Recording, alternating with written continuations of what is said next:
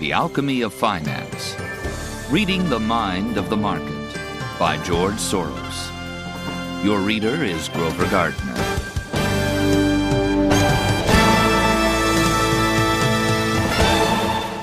Introduction In a very real sense, this book is my life's work. It touches on many of my most abiding interests, and it brings together the two main strands in my intellectual development one abstract and one practical. The abstract came first.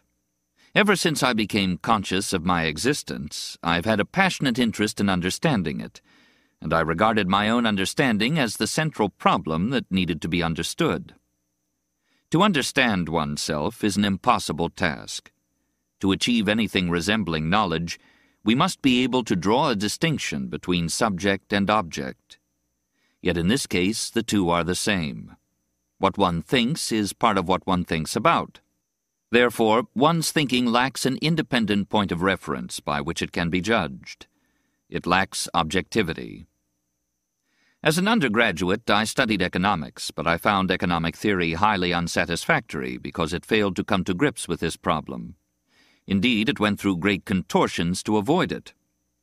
Economics seeks to be a science. Science is supposed to be objective, and it is difficult to be scientific when the subject matter, the participant in the economic process, lacks objectivity.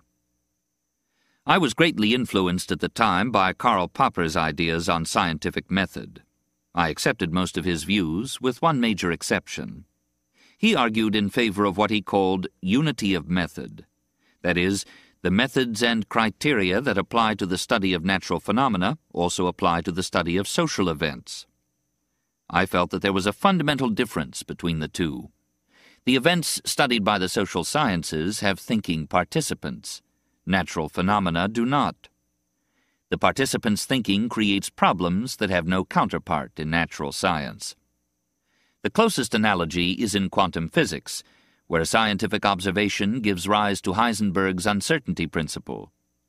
But in social events, it is the participant's thinking that is responsible for the element of uncertainty, not the outside observer. Natural science studies events that consist of a sequence of facts. When events have thinking participants, the subject matter is no longer confined to facts, but also includes the participants' perceptions. The chain of causation does not lead directly from fact to fact, but from fact to perception, and from perception to fact. This would not create any insuperable difficulties if there were some kind of correspondence or equivalence between facts and perceptions. Unfortunately, that is impossible because the participants' perceptions do not relate to facts, but to a situation that is contingent on their own perceptions and therefore cannot be treated as a fact. Economic theory tries to sidestep the issue by introducing the assumption of rational behavior. People are assumed to act by choosing the best of the available alternatives, but somehow the distinction between perceived alternatives and facts is assumed away. The result is a theoretical construction of great elegance that resembles natural science, but does not resemble reality.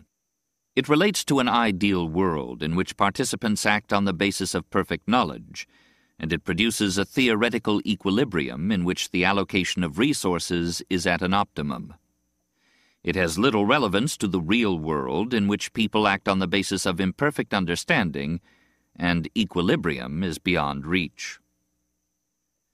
The relationship between the participants' understanding and the situation in which they participate continued to preoccupy me long after I left college. My first priority was to try and make a living, but in my spare time I wrote a philosophical treatise on the subject with the catchy title, The Burden of Consciousness. Unfortunately, the title was the best part of it. By the time I finished, I disagreed with my own presentation. I spent three years revising it. One day I reread what I had written the day before, and I could not make head or tail of it. It made me realize that I had reached a dead end, and I decided to give it up. That was when the practical streak in me began to dominate my intellectual development. If I had to sum up my practical skills, I would use one word survival. When I was an adolescent, the Second World War gave me a lesson that I have never forgotten. I was fortunate enough to have a father who was highly skilled in the art of survival, having lived through the Russian Revolution as an escaped prisoner of war. Under his tutelage, the Second World War served as an advanced course at a tender age. As the reader shall see, the investment vehicle I created a quarter of a century later drew heavily on skills I learned as an adolescent. After leaving college, I had a number of false starts and finally became an international arbitrage trader in stocks, first in London and then in New York. When the European Common Market was formed in 1957, American investors became interested in European shares. I became a security analyst advising American institutions on their European investments, and for a brief period I ruled as a one-eyed king among the blind. My glory came to an abrupt end when President Kennedy introduced a so-called interest equalization tax, which effectively stopped purchases of foreign securities. I decided to put my money-making activities on the back burner and spent three years, from 1963 to 1966, revising The Burden of Consciousness.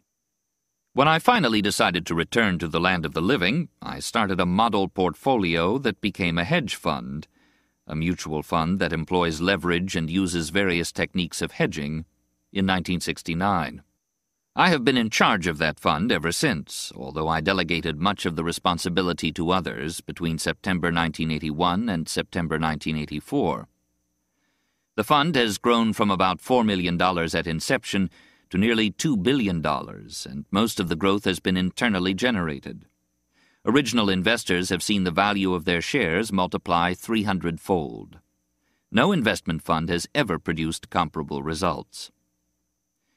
In the first ten years of my business career, I had not much use for anything I had learned in college, and there was an almost total separation between my practical activities and my theoretical interests. Selling and trading in securities was a game I played without putting my true self on the line. All this changed when I became a fund manager. I was putting my money where my mouth was, and I could not afford to dissociate myself from my investment decisions.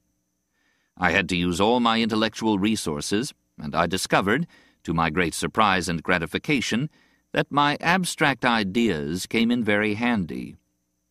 It would be an exaggeration to say that they accounted for my success, but there can be no doubt that they gave me an edge. I developed my own peculiar approach to investing, which was at loggerheads with the prevailing wisdom. The generally accepted view is that markets are always right. That is, market prices tend to discount future developments accurately even when it is unclear what those developments are. I start with the opposite point of view. I believe that market prices are always wrong, in the sense that they present a biased view of the future. But distortion works in both directions. Not only do market participants operate with a bias, but their bias can also influence the course of events. This may create the impression that markets anticipate future developments accurately, but in fact it is not present expectations that correspond to future events, but future events that are shaped by present expectations. The participants' perceptions are inherently flawed, and there is a two-way connection between flawed perceptions and the actual course of events, which results in a lack of correspondence between the two. I call this two-way connection reflexivity. In the course of my investment activities, I discovered that financial markets operate on a principle that is somehow akin to scientific method. Making an investment decision is like formulating a scientific hypothesis and submitting it to a practical test. The main difference is that the hypothesis that underlies an investment decision is intended to make money and not to establish a universally valid generalization. Both activities involve significant risk, and success brings a corresponding reward, monetary in one case and scientific in the other. Taking this view, it is possible to see financial markets as a laboratory for testing hypotheses, albeit not strictly scientific ones. The truth is, successful investing is a kind of alchemy. Most market participants do not view markets in this light. That means that they do not know what hypotheses are being tested. It also means that most of the hypotheses that are submitted to market testing are quite banal. Usually they amount to nothing more than the assertion that a particular stock is going to outperform the market averages. I had a certain advantage over other investors because at least I had an idea about the way financial markets operate. I would be lying, however, if I claimed that I could always formulate worthwhile hypotheses on the basis of my theoretical framework. Sometimes there were no reflexive processes to be found. Sometimes I failed to find them. And what was the most painful of all, sometimes I got them wrong. One way or another, I often invested without a worthwhile hypothesis, and my activities were not very different from a random walk. But I was attuned to reflexive processes in financial markets, and my major successes came from exploiting the opportunities they presented. My approach to the market was not as abstract as it sounds. It took an intensely personal, emotional form. Testing was closely associated with pain, and success with relief. When I asserted that markets are always biased, I was giving expression to a deeply felt attitude. I had a very low regard for the sagacity of professional investors, and the more influential their position, the less I considered them capable of making the right decisions. My partner and I took a malicious pleasure in making money by selling short stocks that were institutional favorites. But we differed in our attitudes to our own activities. He regarded only the other participants' views as flawed, while I thought that we had as good a chance of being wrong as anyone else. The assumption of inherently flawed perceptions suited my self-critical attitude. Operating a hedge fund utilized my training in survival to the fullest. Using leverage can produce superior results when the going is good, but it can wipe you out when events fail to conform to your expectations. One of the hardest things to judge is what level of risk is safe. There are no universally valid yardsticks. Each situation needs to be judged on its own merit. In the final analysis, you must rely on your instincts for survival. Thus, my engagement in running a hedge fund brought together both my abstract interests and my practical skills. I did not play the financial markets according to a particular set of rules. I was always more interested in understanding the changes that occur in the rules of the game. I started with hypotheses relating to individual companies. With the passage of time, my interests veered increasingly toward macroeconomic themes. This was due partly to the growth of the fund and partly to the growing instability of the macroeconomic environment. For instance, exchange rates were fixed until 1973. Subsequently, they became a fertile field for speculation. For the past four or five years, I have had a growing sense of impending financial disaster. I felt that a long-lasting expansionary cycle was becoming increasingly unsound and unsustainable, and we were getting ready for a bust. That was one of the reasons I distanced myself from the active management of the fund in 1981 and reduced its overall level of exposure. My interest shifted from my own survival to the survival of the system. I made a study of the international debt problem and published some papers on the subject. I used the same theoretical framework as in my investment activities, and my analysis was not without merit. Unfortunately, the more complex the system, the greater the room for error. I made some mistakes in my analysis that detracted from the accuracy of my predictions. They also had a detrimental effect on my investment results until I revised my views in the course of writing this book. The more successful I had been in applying my ideas in financial markets, the keener I became to express them in theoretical form. I continued to cherish the fantasy that the concept of reflexivity constitutes a major contribution to our understanding of the world in which we live. I believed that the participant's bias is the key to an understanding of all historical processes that have thinking participants, just as genetic mutation is the key to biological evolution. But a satisfactory formulation of the theory of reflexivity continued to elude me.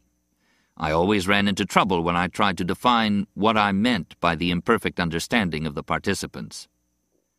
To speak accurately of a distortion, we must know what the situation would be if it were not distorted by the participants' perceptions. Unfortunately, that does not seem possible because the participants' thinking is an integral part of the situation they have to think about. It is not surprising that the concept of reflexivity should present extreme difficulties. If it were an easier concept to work with, economists and other social scientists would not have gone to such lengths to banish it from their subject matter. This book is a final attempt to explore the implications of reflexivity. I have tried to circumvent the difficulties I encountered in the past by approaching the subject from the opposite direction. Instead of getting bogged down in abstract theory, I am going to draw on my experimental practical findings to the greatest possible extent. I cannot avoid an abstract discussion altogether, but I have confined it to a single chapter. In exploring the practical implications, I start with the simplest cases and gradually lead up to more complex ones. This approach happens to coincide with the historical order in which I encountered reflexive developments in practice. First the stock market, then the currency market, then the international debt problem, and finally what may be called the credit cycle. The stock market provides some pure examples of a boom and bust pattern. Freely floating currency rates allow me to explore well-formed wave patterns. The boom and bust in international bank lending is part of a more complex historical process of credit expansion and eventual credit contraction. It has given rise to the configuration that I have dubbed Reagan's Imperial Circle. The configuration prevailed from the international debt crisis of 1982 until the first half of 1985, but it was inherently unstable. How the instability will be resolved is one of the main questions considered in this book. The experimental approach has borne unexpected results. I made two major discoveries in the course of writing. One is a reflexive connection between credit and collateral. The other is a reflexive relationship between the regulators and the economy they regulate. It has long been assumed that monetary values are a passive reflection of the state of affairs in the real world. Classical economics focused on the real world and neglected the problems connected with money and credit. Even Keynes couched his general theory in real terms. Monetarists sought to stand the relationship on its head. They argue that it is possible to control inflation by controlling the growth of the money supply. In my opinion, all these views are based on a fundamental misconception. Money values do not simply mirror the state of affairs in the real world. Valuation is a positive act that makes an impact on the course of events. Monetary and real phenomena are connected in a reflexive fashion. That is, they influence each other mutually.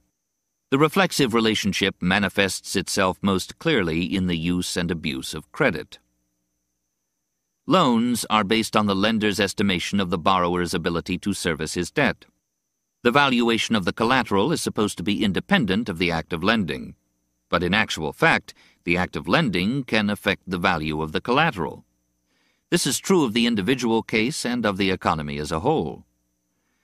Credit expansion stimulates the economy and enhances collateral values. The repayment or contraction of credit has a depressing influence both on the economy and on the valuation of the collateral. The connection between credit and economic activity is anything but constant. For instance, credit for building a new factory has quite a different effect from credit for a leveraged buyout. This makes it difficult to quantify the connection between credit and economic activity yet it is a mistake to ignore it. The monetarist school has done so, with disastrous consequences. The reflexive interaction between the act of lending and collateral values has led me to postulate a pattern in which a period of gradual, slowly accelerating credit expansion is followed by a short period of credit contraction, the classic sequence of boom and bust. The bust is compressed in time because the attempt to liquidate loans causes a sudden implosion of collateral values. Economic history has been punctuated by booms and busts. Nevertheless, the concept of a credit cycle is too simplistic to explain the course of events. For one thing, the connection between credit and economic activity is too tenuous and variable to yield a regular pattern. For another, the sequence of events is greatly complicated by the influence of economic policy. Periodic busts have been so devastating that strenuous efforts have been made to prevent them. These efforts have led to the evolution of central banking and of other mechanisms for controlling credit and regulating economic activity. To understand the role of the regulators, it must be realized that they are also participants. Their understanding is inherently imperfect and their actions have unintended consequences. The relationship between the regulators and the economy is reflexive, and it also exhibits cyclical characteristics in the sense that it tends to swing from one extreme to another. What is the connection between the regulatory cycle and the credit cycle? At this point, my views become very tentative. I believe that the two cycles broadly overlap in time, that the minimum of regulations tends to coincide with the maximum of credit expansion, and vice versa. But within this chronological coincidence, there is constant interaction between the two cycles that influences the shape and duration of both. The interaction between the two cycles yields a unique path that cannot be fitted into any regular or repetitive pattern. I should like to emphasize that this book is not meant to provide a practical guide to getting rich in the stock market. Most of what I know is in the book, at least in theoretical form. I have not kept anything deliberately hidden. But the chain of reasoning operates in the opposite direction. I am not trying to explain how to use my approach to make money. Rather, I am using my experiences in the financial markets to develop an approach to the study of historical processes in general and the present historical moment in particular. If I did not believe that my investment activities can serve that purpose, I would not want to write about them. As long as I am actively engaged in business, I would be better off to keep them a trade secret. But I would value it much more highly than any business success if I could contribute to an understanding of the world in which we live, or, better yet, if I could help to preserve the economic and political system that has allowed me to flourish as a participant. The Theory of Reflexivity Economic theory is devoted to the study of equilibrium positions. The concept of an equilibrium is very useful. It allows us to focus on the final outcome rather than on the process that leads up to it. But the concept is also very deceptive. It has the aura of something empirical. Since the adjustment process is supposed to lead to an equilibrium, an equilibrium position seems somehow implicit in our observations. That is not true. Equilibrium itself has rarely been observed in real life. Market prices have a notorious habit of fluctuating. The process that can be observed is supposed to move toward an equilibrium. Why is it that the equilibrium is never reached? It is true that market participants adjust to market prices, but they may be adjusting to a constantly moving target. In that case, calling the participants' behavior an adjustment process may be a misnomer, and equilibrium theory becomes irrelevant to the real world. Equilibrium is the product of an axiomatic system. Economic theory is constructed like logic or mathematics. It is based on certain postulates, and all of its conclusions are derived from them by logical manipulation. The possibility that equilibrium is never reached need not invalidate the logical construction, but when a hypothetical equilibrium is presented as a model of reality, a significant distortion is introduced. If we lived in a world in which the angles of a triangle did not add up to 180 degrees, Euclidean geometry would constitute such a misleading model. The crowning achievement of the axiomatic approach is the theory of perfect competition. Although it was first propounded nearly 200 years ago, it has never been superseded. Only the method of analysis has been refined. The theory holds that under certain specified circumstances, the unrestrained pursuit of self interest leads to the optimum allocation of resources. The equilibrium point is reached when each firm produces at a level where its marginal cost equals the market price, and each consumer buys an amount whose marginal utility equals the market price. Analysis shows that the equilibrium position maximizes the benefit of all participants, provided no individual buyer or seller can influence market prices. It is this line of argument that has served as the theoretical underpinning for the laissez faire policies of the 19th century. And it is also the basis of the current belief in the magic of the marketplace. Let us examine the main assumptions of the theory of perfect competition.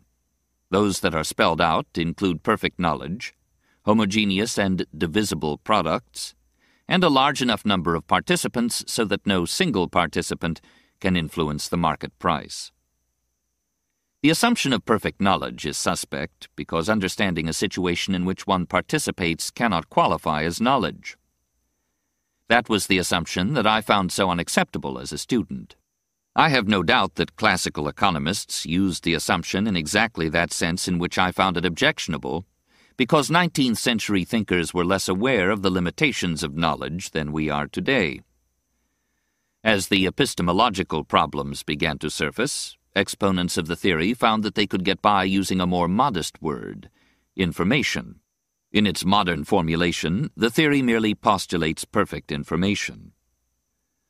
Unfortunately, this assumption is not quite sufficient to support the construction of the theory. To make up for the deficiency, modern economists resorted to an ingenious device. They insisted that the demand and supply curves should be taken as given. They did not present this as a postulate, Rather, they based their claim on methodological grounds. They argued that the task of economics is to study the relationship between supply and demand, and not either by itself. Demand may be a suitable subject for psychologists, supply may be the province of engineers or management scientists. Both are beyond the scope of economics. Therefore, both must be taken as given. Yet, if we stop to ask what it means that the conditions of supply and demand are independently given, it is clear that an additional assumption has been introduced. Otherwise, where would those curves come from? We are dealing with an assumption disguised as a methodological device. Participants are supposed to choose between alternatives in accordance with their scale of preferences. The unspoken assumption is that the participants know what those preferences and alternatives are. As I shall try to show, this assumption is untenable. The shape of the supply and demand curves cannot be taken as independently given because both of them incorporate the participants' expectations about events that are shaped by their own expectations. Nowhere is the role of expectations more clearly visible than in financial markets. Buy and sell decisions are based on expectations about future prices, and future prices, in turn, are contingent on present buy and sell decisions. To speak of supply and demand as if they were determined by forces that are independent of the market participants' expectations is quite misleading. The situation is not quite so clear cut in the case of commodities, where supply is largely dependent on production and demand on consumption. But the price that determines the amounts produced and consumed is not necessarily the present price. On the contrary, market participants are more likely to be guided by future prices, either as expressed in futures markets or as anticipated by themselves. In either case, it is inappropriate to speak of independently given supply and demand curves because both curves incorporate the participants' expectations about future prices. The very idea that events in the marketplace may affect the shape of the demand and supply curves seems incongruous to those who have been reared on classical economics. The demand and supply curves are supposed to determine the market price. If they were themselves subject to market influences, prices would cease to be uniquely determined. Instead of equilibrium, we would be left with fluctuating prices. This would be a devastating state of affairs all the conclusions of economic theory would lose their relevance to the real world. It is to prevent this outcome that the methodological device that treats the supply and demand curves as independently given was introduced. Yet there is something insidious about using a methodological device to obscure an assumption that would be untenable if it were spelled out. To preserve the integrity of economic theory as an axiomatic system, its assumptions ought to be explicitly stated. We may then conclude that economic theory is no more relevant to the real world than non Euclidean geometry, but at least we would know where we stand. Instead, we have been deceived by a methodological subterfuge. The demand and supply curves are presented in textbooks as though they were grounded in empirical evidence. But there is scant evidence for independently given demand and supply curves. Anyone who trades in markets where prices are continuously changing knows that participants are very much influenced by market developments. Rising prices often attract buyers, and vice versa. How could self reinforcing trends persist if supply and demand curves were independent of market prices? Yet, even a cursory look at commodity, stock, and currency markets confirms that trends are the rule rather than the exception. The theory of perfect competition could be defended by arguing that the trends we can observe in commodity and financial markets are merely temporary aberrations which will be eliminated in the long run by the fundamental forces of supply and demand. It should be remembered that the theory of perfect competition does not claim to define the path of adjustment. It merely analyzes the situation after all the adjustments have taken place. The trouble with the argument is that there can be no assurance that fundamental forces will correct speculative excesses. It is just as possible that speculation will alter the supposedly fundamental conditions of supply and demand. In the normal course of events, a speculative price rise provokes countervailing forces. Supply is increased and demand reduced, and the temporary excess is corrected with the passage of time. But there are exceptions. In foreign exchange, for example, a sustained price movement can be self-validating because of its impact on domestic price levels. The same is true in the stock market, where the performance of a stock may affect the performance of the company in question in a number of ways. And in examining the recent history of international lending, we shall find that excessive lending first increased the borrowing capacity of debtor countries, as measured by their debt ratios, and then, when the banks wanted to be repaid, the debtor country's ability to do so evaporated. Generally speaking, we shall find that the expansion and contraction of credit can affect the debtor's ability and willingness to pay. Are these exceptions that confirm the rule, or do they necessitate a revision of accepted theory? The answer depends on the frequency and severity of their occurrence. If we are dealing with an isolated instance, we can treat it as a paradox, but if one incident follows another, we must question the theory.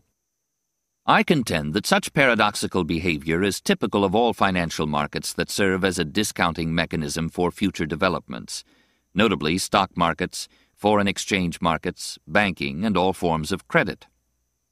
Microeconomic theory may continue to ignore it because there are large areas of economic activity where it occurs only occasionally or not at all. But we cannot expect to understand macroeconomic developments without taking the phenomenon into account. A world of fluctuating exchange rates and large-scale capital movements is characterized by vicious and benign circles in which the normal pattern of causation, as defined by classical economics, seems to be reversed. Market developments dictate the evolution of the conditions of supply and demand, not the other way around. If the process of adjustment does not lead to an equilibrium, what happens to the conclusions of economic theory? The answer is that they remain valid as deductions, but they lose their relevance to the real world. If we want to understand the real world, we must divert our gaze from a hypothetical final outcome and concentrate our attention on the process of change that we can observe all around us. This will require a radical shift in our thinking. A process of change is much more difficult to understand than a static equilibrium. We shall have to revise many of our preconceived ideas about the kind of understanding that is attainable, and satisfy ourselves with conclusions that are far less definite than those that economic theory sought to provide. The understanding of the actual course of events, as distinct from a hypothetical equilibrium, poses problems that have not been properly appreciated. The problems arise because participants base their decisions on an inherently imperfect understanding of the situation in which they participate. My approach is to tackle the problem of imperfect understanding head on. What makes the participants' understanding imperfect is that their thinking affects the situation to which it relates. The causal role played by the participants' thinking has no counterpart in the phenomena studied by natural scientists. It is obviously not the only force shaping the course of events, but it is a force which is unique to events that have thinking participants. Hence, it deserves to take center stage. As we have seen, imperfect understanding is a very difficult concept to work with. We have established that there is a lack of correspondence between the participant's thinking and the situation to which it relates. But the lack of correspondence is difficult to define, let alone measure. The participant's thinking is part of the situation to which it relates, and the very idea of correspondence is inappropriate to describing a relationship between a part and a whole. The idea was imported from natural science, where facts and statements belong to separate universes, and from philosophy, where correspondence serves as the criterion of truth. The analogy does not apply to the participant, who is, by definition, part of the situation that he is trying to understand. We can speak of a lack of correspondence, but we cannot define that to which the participant's understanding fails to correspond because it simply does not exist. To simplify matters, I shall speak of an inherent bias in the participant's thinking. Since the bias is inherent, the unbiased is unattainable. There is, however, a norm in the outside world against which the participant's bias can be measured. Although there is no reality independent of the participant's perception, there is a reality that is dependent on it. In other words, there is a sequence of events that actually occurs, and that sequence reflects the participant's behavior. The actual course of events is likely to differ from the participant's expectations, and the divergence can be taken as an indication of the participant's bias. Unfortunately, it can be taken only as an indication, not as the full measure of the bias, because the actual course of events already incorporates the effects of the participant's thinking. Thus, the participant's bias finds expression both in the divergence between outcome and expectations and in the actual course of events. A phenomenon that is partially observable and partially submerged in the course of events does not lend itself readily to scientific investigation. We can now appreciate why economists were so anxious to eliminate it from their theories. We shall make it the focal point of our investigation. The connection between the participants' thinking and the situation in which they participate can be broken up into two functional relationships. I call the participants' efforts to understand the situation the cognitive or passive function, and the impact of their thinking on the real world the participating or active function. In the cognitive function, the participant's perceptions depend on the situation. In the participating function, the situation is influenced by the participant's perceptions. It can be seen that the two functions work in opposite directions. In the cognitive function, the independent variable is the situation. In the participating function, it is the participant's thinking. There are many cases where one or the other function can be observed in isolation, but there are also instances where they are both operating at the same time. An obvious example of the cognitive function is when someone learns from experience. Examples of the participating function are to be found in textbooks of economics, where the participants apply a given set of preferences to a given set of opportunities and in the process determine prices. When both functions operate at the same time, they interfere with each other, Functions need an independent variable in order to produce a determinate result, but in this case the independent variable of one function is the dependent variable of the other. Instead of a determinate result, we have an interplay in which both the situations and the participants' views are dependent variables, so that an initial change precipitates further changes both in the situation and in the participants' views. I call this interaction reflexivity using the word as the French do when they describe a verb whose subject and object are the same. This is the theoretical foundation of my approach. The two recursive functions do not produce an equilibrium, but a never-ending process of change. When a situation has thinking participants, the sequence of events does not lead directly from one set of facts to the next. Rather, it connects facts to perceptions and perceptions to facts in a shoelace pattern. Thus, the concept of reflexivity yields a shoelace theory of history. Returning to economic theory, it can be argued that it is the participant's bias that renders the equilibrium position unattainable. The target toward which the adjustment process leads incorporates a bias, and the bias may shift in the process. When that happens, the process aims not at an equilibrium, but at a moving target. How significant is the distortion introduced by neglecting the participant's bias? In microeconomic analysis, the distortion is negligible and the participant's bias can be accounted for easily. As a first step, the participant's bias can be taken as given. That provides a static equilibrium. To make the analysis more dynamic, changes in the participant's bias can be added piecemeal, expressed as changes in consumer habits or production methods. All that is obscured by this piecemeal approach is the possible connection between the various changes in the conditions of supply and demand. But that omission does not invalidate the conclusions microeconomic analysis seeks to establish. When it comes to financial markets, the distortion is more serious. The participant's bias is an element in determining prices, and no important market development leaves the participant's bias unaffected. The search for an equilibrium price turns out to be a wild goose chase, and theories about the equilibrium price can themselves become a fertile source of bias. To paraphrase J.P. Morgan, financial markets will continue to fluctuate. In trying to deal with macroeconomic developments, equilibrium analysis is totally inappropriate. Nothing could be further removed from reality than the assumption that participants base their decisions on perfect knowledge.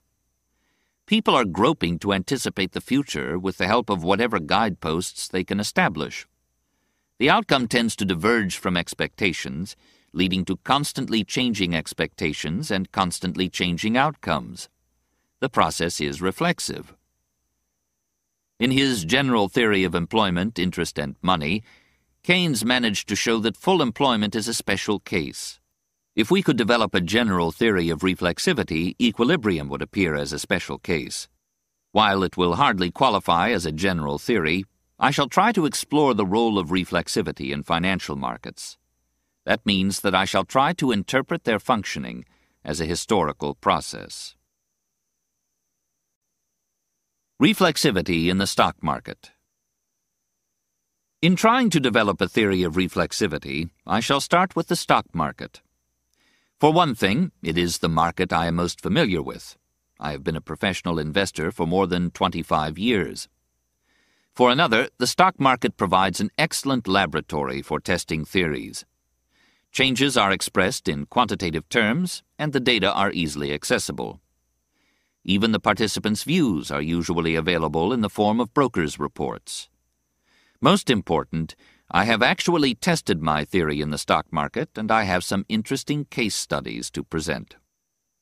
As I mentioned in the introduction, I did not develop my ideas on reflexivity in connection with my activities in the stock market. The theory of reflexivity started out as abstract philosophical speculation, and only gradually did I discover its relevance to the behavior of stock prices. I was singularly unsuccessful in formulating my theory at the level of abstraction at which I conceived it. My failure as a philosopher stands in stark contrast with my career as an investment professional. I hope that by presenting my ideas in the reverse order from the one in which I arrived at them, I may be able to avoid getting lost in arcane abstractions. There is yet another reason why the stock market may provide the best entry point for the study of reflexive phenomena. The stock market comes as close to meeting the criteria of perfect competition as any market. A central marketplace, homogeneous products, low transaction and transportation costs, instant communications, a large enough crowd of participants to ensure that no individual can influence market prices in the ordinary course of events, and special rules for insider transactions as well as special safeguards to provide all participants with access to relevant information. What more can one ask for? If there is any place where the theory of perfect competition ought to be translated into practice, it is in the stock market. Yet there is little empirical evidence of an equilibrium or even a tendency for prices to move toward an equilibrium. The concept of an equilibrium seems irrelevant at best and misleading at worst. The evidence shows persistent fluctuations, whatever length of time is chosen as the period of observation. Admittedly, the underlying conditions that are supposed to be reflected in stock prices are also constantly changing, but it is difficult to establish any firm relationship between changes in stock prices and changes in underlying conditions. Whatever relationship can be established has to be imputed rather than observed. I intend to use the theory of reflexivity to criticize the preoccupation of economic theory with the equilibrium position. What better example could I find than the stock market? Existing theories about the behavior of stock prices are remarkably inadequate.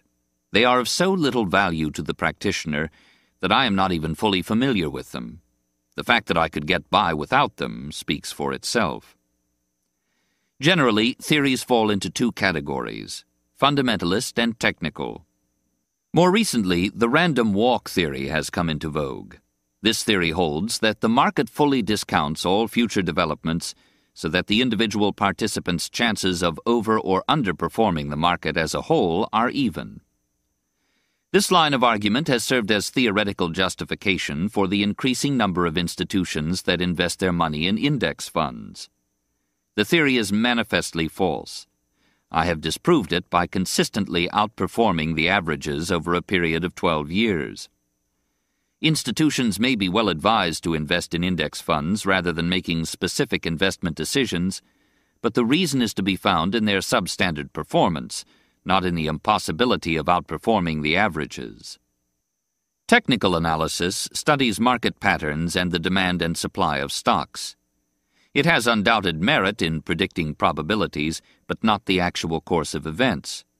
For the purposes of this discussion, it is of no particular interest because it has little theoretical foundation other than the assertions that stock prices are determined by their supply and demand, and that past experience is relevant in predicting the future. Fundamental analysis is more interesting because it is an outgrowth of equilibrium theory. Stocks are supposed to have a true or fundamental value as distinct from their current market price. The fundamental value of a stock may be defined either in relation to the earning power of the underlying assets or in relation to the fundamental value of other stocks. In either case, the market price of a stock is supposed to tend toward its fundamental value over a period of time so that the analysis of fundamental values provides a useful guide to investment decisions. The important point about this approach is that the connection between stock prices and the companies whose stocks are traded is assumed to be in one direction. The fortunes of the companies determine, however belatedly, the relative values of the various stocks traded in the stock market. The possibility that stock market developments may affect the fortunes of the companies is left out of account.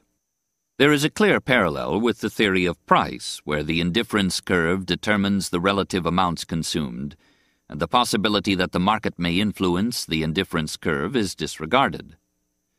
The parallel is not accidental. The fundamentalist approach is based on the theory of price. But the omission is more glaring in the stock market than in other markets. Stock market valuations have a direct way of influencing underlying values through the issue and repurchase of shares and options, and through corporate transactions of all kinds mergers, acquisitions, going public, going private, and so on. There are also more subtle ways in which stock prices may influence the standing of a company credit rating, consumer acceptance, management credibility, etc. The influence of these factors on stock prices is, of course, fully recognized. It is the influence of stock prices on these factors that is so strangely ignored by the fundamentalist approach.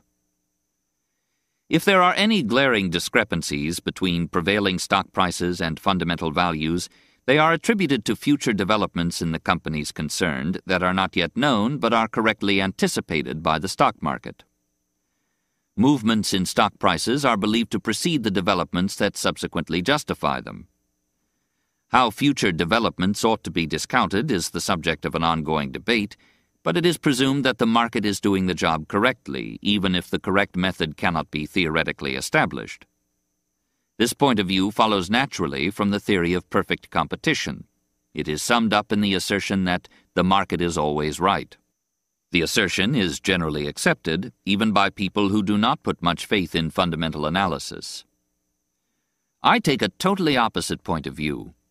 I do not accept the proposition that stock prices are a passive reflection of underlying values, nor do I accept the proposition that the reflection tends to correspond to the underlying value. I contend that market valuations are always distorted. Moreover, and this is the crucial departure from equilibrium theory, the distortions can affect the underlying values. Stock prices are not merely passive reflections. They are active ingredients in a process in which both stock prices and the fortunes of the companies whose stocks are traded are determined.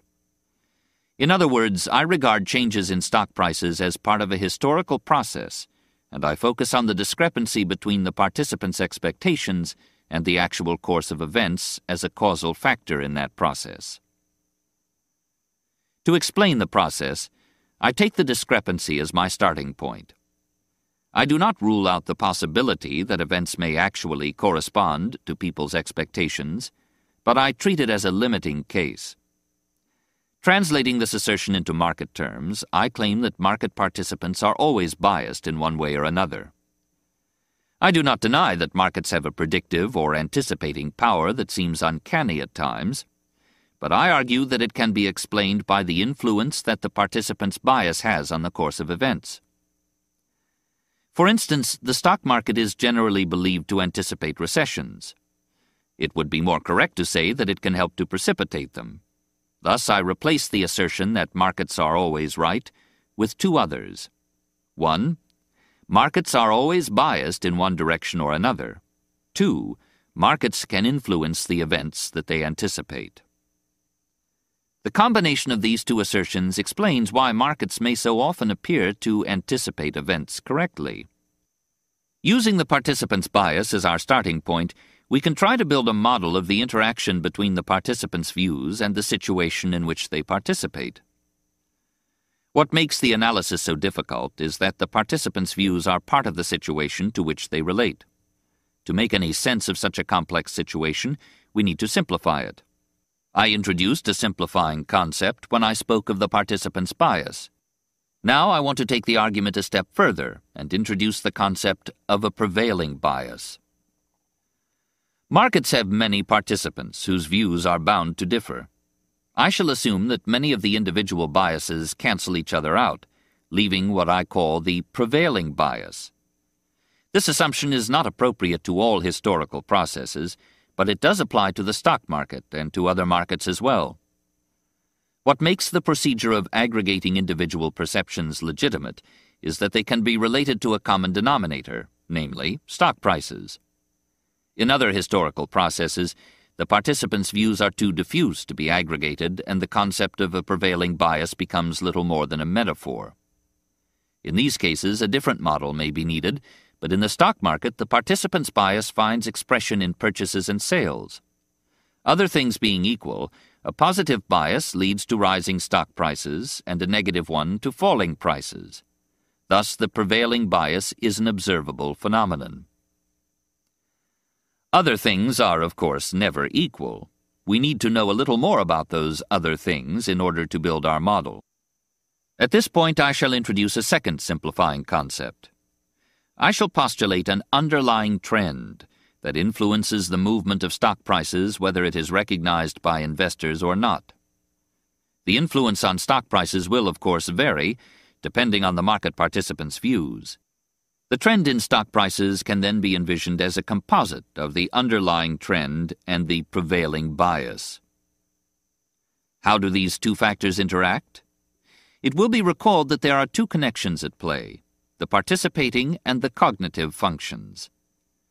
The underlying trend influences the participant's perceptions through the cognitive function.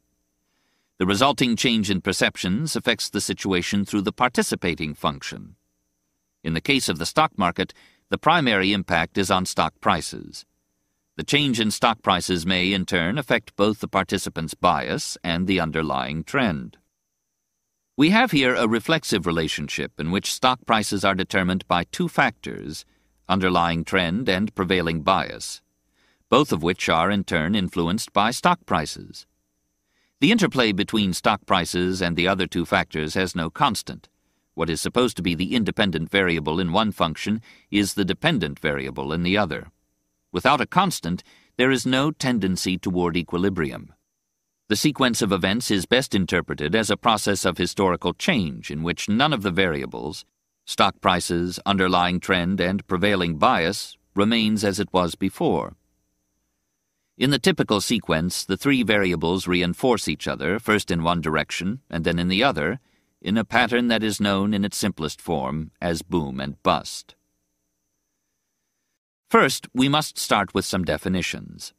When stock prices reinforce the underlying trend, we shall call the trend self-reinforcing. When they work in the opposite direction, self-correcting. The same terminology holds for the prevailing bias. It can be self-reinforcing or self-correcting. It is important to realize what these terms mean. When a trend is reinforced, it accelerates. When the bias is reinforced, the divergence between expectations and the actual course of future stock prices gets wider, and, conversely, when it is self-correcting, the divergence gets narrower. As far as stock prices are concerned, we shall describe them simply as rising and falling. When the prevailing bias helps to raise prices, we shall call it positive. When it works in the opposite direction, negative. Thus, rising prices are reinforced by a positive bias and falling prices by a negative one. In a boom-bust sequence, we would expect to find at least one stretch where rising prices are reinforced by a positive bias and another where falling prices are reinforced by a negative bias. There must also be a point where the underlying trend and the prevailing bias combine to reverse the trend in stock prices. Let us now try to build a rudimentary model of boom and bust. We start with an underlying trend that is not yet recognized, although a prevailing bias that is not yet reflected in stock prices is also conceivable. Thus, the prevailing bias is negative to start with. When the market participants recognize the trend, this change in perceptions will affect stock prices. The change in stock prices may or may not affect the underlying trend. In the latter case, there is little more to discuss. In the former case, we have the beginning of a self-reinforcing process. The enhanced trend will affect the prevailing bias in one of two ways. It will lead to the expectation of further acceleration or to the expectation of a correction. In the latter case, the underlying trend may or may not survive the correction in stock prices. In the former case, a positive bias develops, causing a further rise in stock prices and a further acceleration in the underlying trend. As long as the bias is self-reinforcing, expectations rise even faster than stock prices.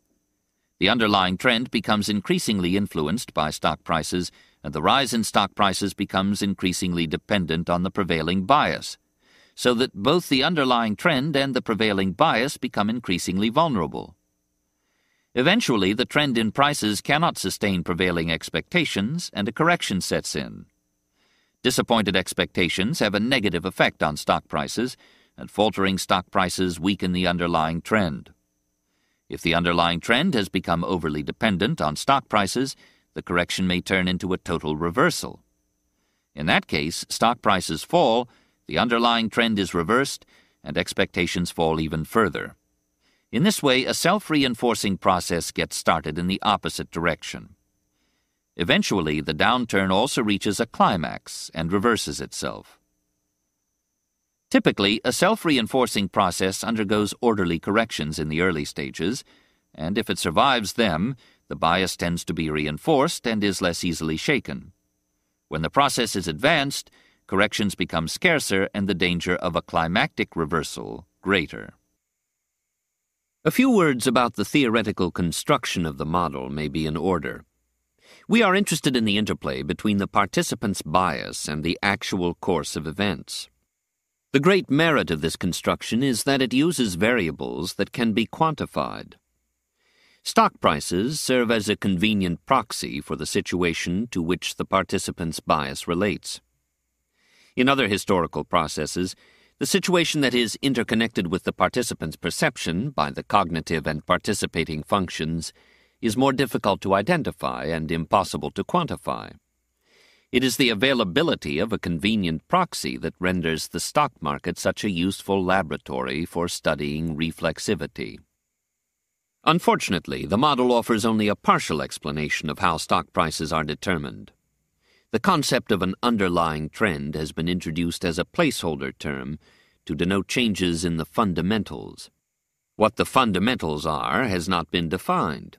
Even the question of how the fundamentals are to be measured has not been answered. Earnings, dividends, asset value, free cash flow, All these yardsticks are relevant, as well as many others, but the relative weight given to each depends on the investor's judgments and is therefore subject to their bias. We may use earnings per share for purposes of illustration, but that merely begs the question. It is a question security analysts have been struggling with for a long time. We do not need to answer it here in order to develop a theory of reflexivity. Without knowing anything about the fundamentals, we can make some worthwhile generalizations. The first generalization is that stock prices must have some effect on the fundamentals, whatever they are, in order to create a boom-bust pattern. Sometimes the connection is direct, as in the examples I shall use in this chapter, but generally it is indirect. Often it makes its effect felt through a political process, such as changes in taxation, or regulation, or attitudes to saving and investing. It is possible to have a reflexive connection between stock prices and the prevailing bias, even if the fundamentals remain unaffected. But the connection becomes interesting only if the fundamentals are also involved. Without a change in fundamentals, the prevailing bias is likely to be corrected in short order, as we can observe in the daily fluctuations of stock prices. It would be quite in order to ignore the bias as mere noise. That is what the theory of perfect competition and the fundamentalist approach to security analysis have done. By contrast, when the fundamentals are affected, the bias cannot be left out of account without serious distortion, because the bias gives rise to a self-reinforcing, self-defeating process that leaves neither stock prices, nor the fundamentals, nor the participants' views the same as they were before. The second generalization is that there is bound to be a flaw in the participant's perception of the fundamentals. The flaw may not be apparent in the early stages, but it is likely to manifest itself later on. When it does, it sets the stage for a reversal in the prevailing bias. If the change in bias reverses the underlying trend, a self-reinforcing process is set in motion in the opposite direction. What the flaw is, and how and when it is likely to manifest itself, are the keys to understanding boom-bust sequences. The model I presented above is built on these two generalizations. It hardly needs emphasizing how crude the model is. Nevertheless, it is valuable in identifying the crucial features of a typical boom-bust sequence. These are the unrecognized trend, the beginning of a self-reinforcing process, the successful test, the growing conviction, resulting in a widening divergence between reality and expectations, the flaw in perceptions, the climax, a self-reinforcing process in the opposite direction. Just by identifying these features, we can gain some insight into the behavior of stock prices. We cannot expect much more from our rudimentary model. In any case, a reflexive model cannot take the place of fundamental analysis. All it can do is to provide an ingredient that is missing from it. In principle, the two approaches could be reconciled. Fundamental analysis seeks to establish how underlying values are reflected in stock prices, whereas the theory of reflexivity shows how stock prices can influence underlying values. One provides a static picture, the other a dynamic one. A theory that offers a partial explanation of stock price movements can be very useful to the investor, especially if it illuminates a relationship that other investors fail to grasp. Investors operate with limited funds and limited intelligence. They do not need to know everything. As long as they understand something better than others, they have an edge. The trouble with any kind of specialized knowledge is that one's area of expertise may not be especially interesting. But the theory of reflexivity serves to identify historically significant price movements, so it goes right to the heart of the matter. The rudimentary model I have outlined above has proved extremely rewarding in my career as an investor. That may seem surprising because the model is so simple and it fits a well-trodden stock market pattern so well that one would expect every investor to be familiar with it. Yet that is not the case. Why? Part of the answer must be that Market participants have been misguided by a different theoretical construction, one derived from classical economics and, even more important, from the natural sciences. The ingrained attitude is that stock prices are the passive reflection of some underlying reality and not an active ingredient in the historical process. This view is simply false. It is remarkable that the error has still not been fully recognized. Nevertheless, investors do recognize the sequence I have described and do respond to it, only they respond later than someone who is working with the appropriate model and is on the lookout for the crucial features that define the shape of the price curve. That is what has given me my edge. The first time I used the model systematically was in the conglomerate boom of the late 1960s. It enabled me to make money both on the way up and on the way down. The key to the conglomerate boom was a prevailing misconception among investors. Investors had come to value growth in per share earnings and failed to discriminate about the way the earnings growth was accomplished. A few companies learned to produce earnings growth through acquisitions. Once the market started to reward them for their performance, their task became easier because they could offer their own highly priced stock in acquiring other companies. In theory, the process works as follows. Let us assume that all of the companies involved have the same intrinsic growth in earnings, but the stock of the acquiring company sells at twice the earnings multiple of the acquired ones. If the acquiring company manages to double its size, its earnings per share jump by 50%, and its growth rate increases accordingly. In practice, the early conglomerates started out with high intrinsic growth rates that were rewarded by high multiples. Several of the pathbreakers were high technology companies with a strong defense component whose managements recognized that their historic growth rate could not be sustained indefinitely. Textron, Teledyne, Ling Temco Vought, later LTV, to mention a few. They started to acquire more mundane companies, but as their per share earnings growth accelerated, the multiples expanded instead of contracting. Their success attracted imitators, and later on, even the most humdrum companies could attain a high multiple by going on an acquisition spree. For instance, the bulk of Ogden's earnings was derived from trading scrap metal. Nevertheless, the stock sold at more than 20 times earnings at its peak. Eventually, a company could achieve a high multiple just by promising to put it to good use by making acquisitions. Managements developed special accounting techniques that enhanced the impact of acquisitions. They also introduced changes in the acquired companies, streamlining operations, disposing of assets, and generally focusing on the bottom line. But these changes were less significant than the impact on per share earnings of the acquisitions themselves. Investors responded. At first, the record of each company was judged on its own merit, but gradually conglomerates became recognized as a group. A new breed of investors emerged, the so-called go-go fund managers or gunslingers who developed a special affinity with the managements of conglomerates. Direct lines of communication were opened between them, and conglomerates would place so-called letter stock directly with investors. Eventually, conglomerates learned to manage their stock prices as well as their earnings. Events followed the sequence described in my model. Multiples expanded, and eventually reality could not sustain expectations. More and more people realized the misconception on which the boom rested, even as they continued to play the game. Acquisitions had to get larger and larger in order to maintain the momentum, and in the end they ran into the limits of size. The climactic event was the attempt by Saul Steinberg to acquire Chemical Bank. It was fought and defeated by the establishment. When stock prices started to fall, the decline fed on itself. The favorable impact of acquisitions on per share earnings diminished, and eventually it became impractical to make new acquisitions. The internal problems that had been swept under the carpet during the period of rapid external growth began to surface.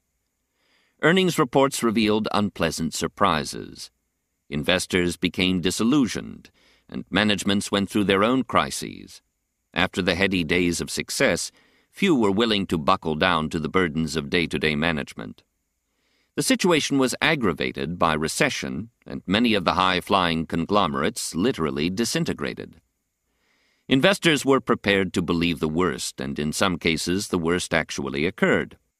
In others, reality turned out to be better than expectations, and eventually the situation stabilized, with the surviving companies, often under new management, slowly working themselves out from under the debris. My best documented encounter with a boom bust sequence is that of real estate investment trusts. REITs, as they are called, are a special corporate form brought into existence by legislation. Their key feature is that they can distribute their income free of corporate taxation, provided they distribute all the income they receive.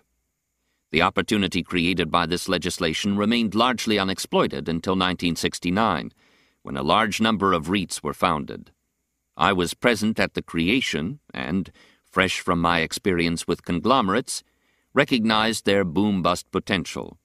I published a research report, The Case for Mortgage Trusts. My report had an interesting history. It came at a time when go-go fund managers had suffered severe losses in the collapse of the conglomerates. Since they were entitled to share in the profits but did not have to share in the losses of the funds they managed, they were inclined to grasp at anything that held out the prospect of a quick profit.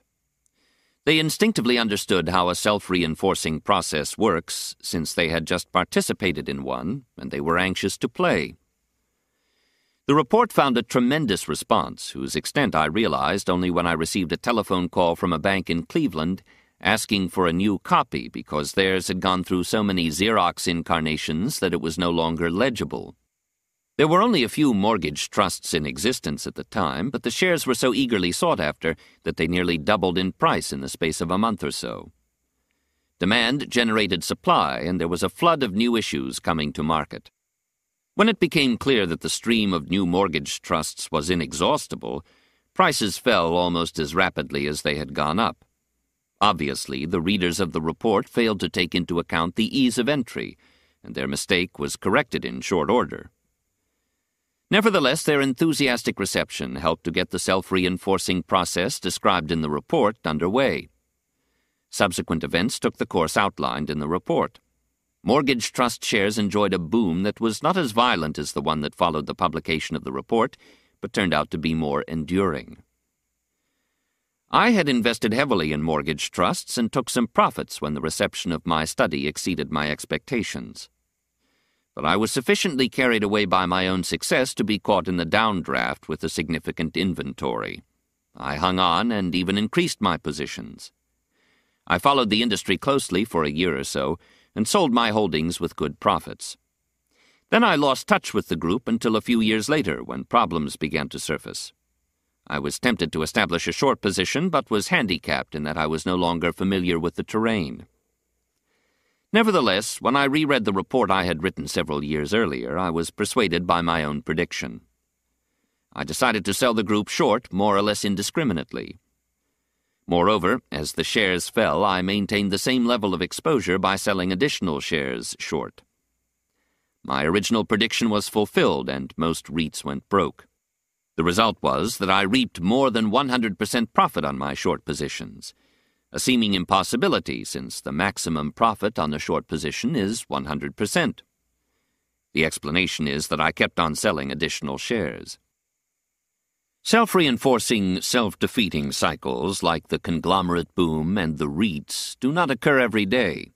There are long fallow periods when the specialist in such cycles remains unemployed. He need not starve, however. The divergence between underlying trends and investor recognition persists at all times, and the astute investor can take advantage of it. New industries arise or old ones come back into favor. Typically, they are inadequately followed at first.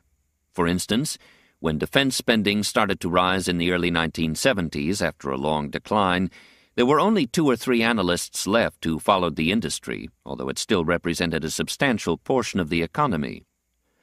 Those who were left were too demoralized to recognize the beginning of a major new trend. That was a wonderful time to invest in defense stocks. There were high tech defense stocks that had never been visited by an analyst, like E Systems Inc., and well established companies that had fallen on evil days trying to diversify out of defense, like Sanders Associates, or getting caught up in scandals trying to sell airplanes through bribery, like Northrop and Lockheed. In the case of defense stocks, there was no self reinforcing process involved, but investor recognition certainly helped the price of the stocks. Actually, it is a rare case where the investor's bias leaves the fundamentals totally unaffected. Even with defense stocks, the prevailing bias played a role, but it was a negative one. Lockheed had to be bailed out by the government, and companies like Sanders Associates had to restructure their debt by offering convertible bonds at prices that turned out to be very low in retrospect. Only when the negative bias was corrected was there very little further feedback. Companies had little need for additional capital, and managements, having been burned once before, were leery of diversifying out of defense. There were exceptions, like United Aircraft, but investors' bias never turned positive enough to allow a self reinforcing process to get underway. Many of United Aircraft's acquisitions were for cash, and those that involved stock did not enhance earnings significantly.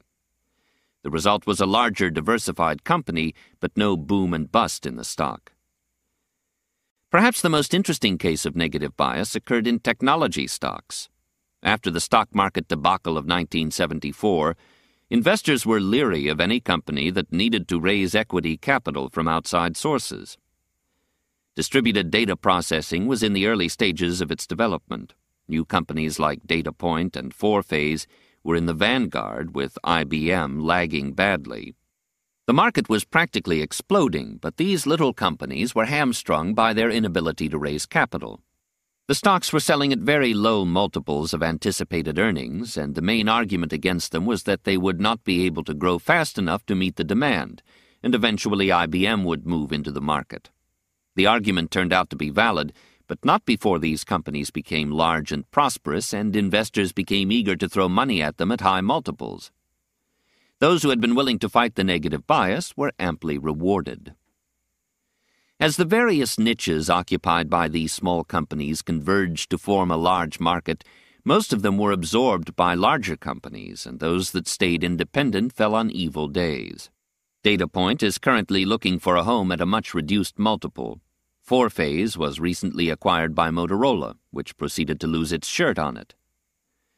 If the initial market reaction to distributed data processing companies had been more positive, it is possible that some of the early starters might have grown fast enough to survive, just as the earlier wave of microcomputer manufacturers did spawn a few enduring companies like Digital Equipment and Data General. The negative bias of the 1975 to 1976 period gave way to the opposite extreme. It found expression in a venture capital boom that culminated in the second quarter of 1983. The sequence of events is not as clear cut as in the case of REITs, but that is only because high technology is not as homogeneous an industry. The same reflexive interaction between stock prices, prevailing bias, and fundamentals can be observed, but much more specific knowledge is required to trace the course of events. The availability of venture capital on attractive terms led to a proliferation of new ventures. Every new company needed equipment as well as inventory, so that electronic equipment manufacturers enjoyed a boom, and so did the manufacturers of products and components. The electronics industry is a large customer of its own products, so that the boom was self reinforcing. But the proliferation of companies intensified competition. Industry leaders lost their market position as a new generation of products was introduced because the individuals who were responsible for developing them left their companies and set up new ones. Instead of companies growing in step with their industry, the industry grew by the multiplication of companies. Investors failed to recognize this trend. As a result, technology stocks in general and new issues in particular became substantially overvalued. The new issue boom culminated in the second quarter of 1983. When prices started to decline, fewer issues could be sold, and eventually venture capitalists became less venturesome. As fewer companies were formed and the existing ones depleted their cash, the market for technology products softened. Competition intensified and profit margins deteriorated. The process started to feed on itself, and the low point has probably still not been reached. The venture capital boom was not the only cause of the subsequent shakeout. The strong dollar and the rise of Japanese competition were at least as important. But it is clear that stock prices had an impact on the fundamentals in both directions. What distinguishes the conglomerate and REIT sequences from the venture capital boom is that in the first two cases, the underlying trend itself was based on the exploitation of the investor's bias, while in the third, it was not. In the case of conglomerates, the idea was to acquire other companies with inflated paper. In the case of REITs, the idea was equity leveraging. The idea behind the latest generation of technology products had nothing to do with the stock market. To understand the ups and downs of technology stocks, we must know something about the underlying trends in technology. In the case of conglomerates and REITs, we need to know little else than the theory of reflexivity. It is important to realize, however, that knowing everything about underlying trends in technology is not sufficient to explain the ups and downs of technology stocks. The reflexive interaction between underlying trends, prevailing biases, and stock prices also needs to be understood. Combining the two kinds of understanding is extremely difficult. Those who want to be familiar with technology must follow the industry closely and continuously. Those who want to exploit the divergence between perception and reality must move from group to group. Most technology experts are ignorant of reflexivity and tend to remain fully invested at all times. Their popularity and influence wax and wane in a reflexive fashion. After the recent decline in technology stocks, a new breed of analysts seems to be emerging who are overly sensitive to the importance of investors' perceptions. After a decent interval, it may be once again profitable to go against the prevailing bias and invest in technology stocks on the basis of fundamental trends. I have always had a lot of difficulty investing in technology stocks because of the specialized knowledge required. Finally, I managed to gain a good insight into the computer industry during the 1975 to 1976 period and profited from the prevailing negative bias. I held on to my positions for a few years, but then I sold them and lost my grip on the industry. In 1981, I made the mistake of not participating in a venture capital fund operated by one of the most successful venture capitalists of the period, in the belief that the boom could not last long enough to allow investors to exit in time. In this, I was undoubtedly influenced by misgivings about the larger picture. In any event, his investors realized a good profit in 1983. By that time, I was totally out of touch with technology stocks, and the boom passed me by. Even the conglomerate and REIT sequences were not totally self contained. Extraneous developments, such as the level of economic activity, regulation, or specific events, e.g., the attempted takeover of Chemical Bank, played a crucial role in the conglomerate boom. In less pure sequences, the importance of outside influences is even greater. We are currently in the midst of another self reinforcing, self defeating cycle that will go down in history as the merger mania of the 1980s. Instead of inflated paper, it is cash that serves as the currency. The scale of transactions already dwarfs the conglomerate boom.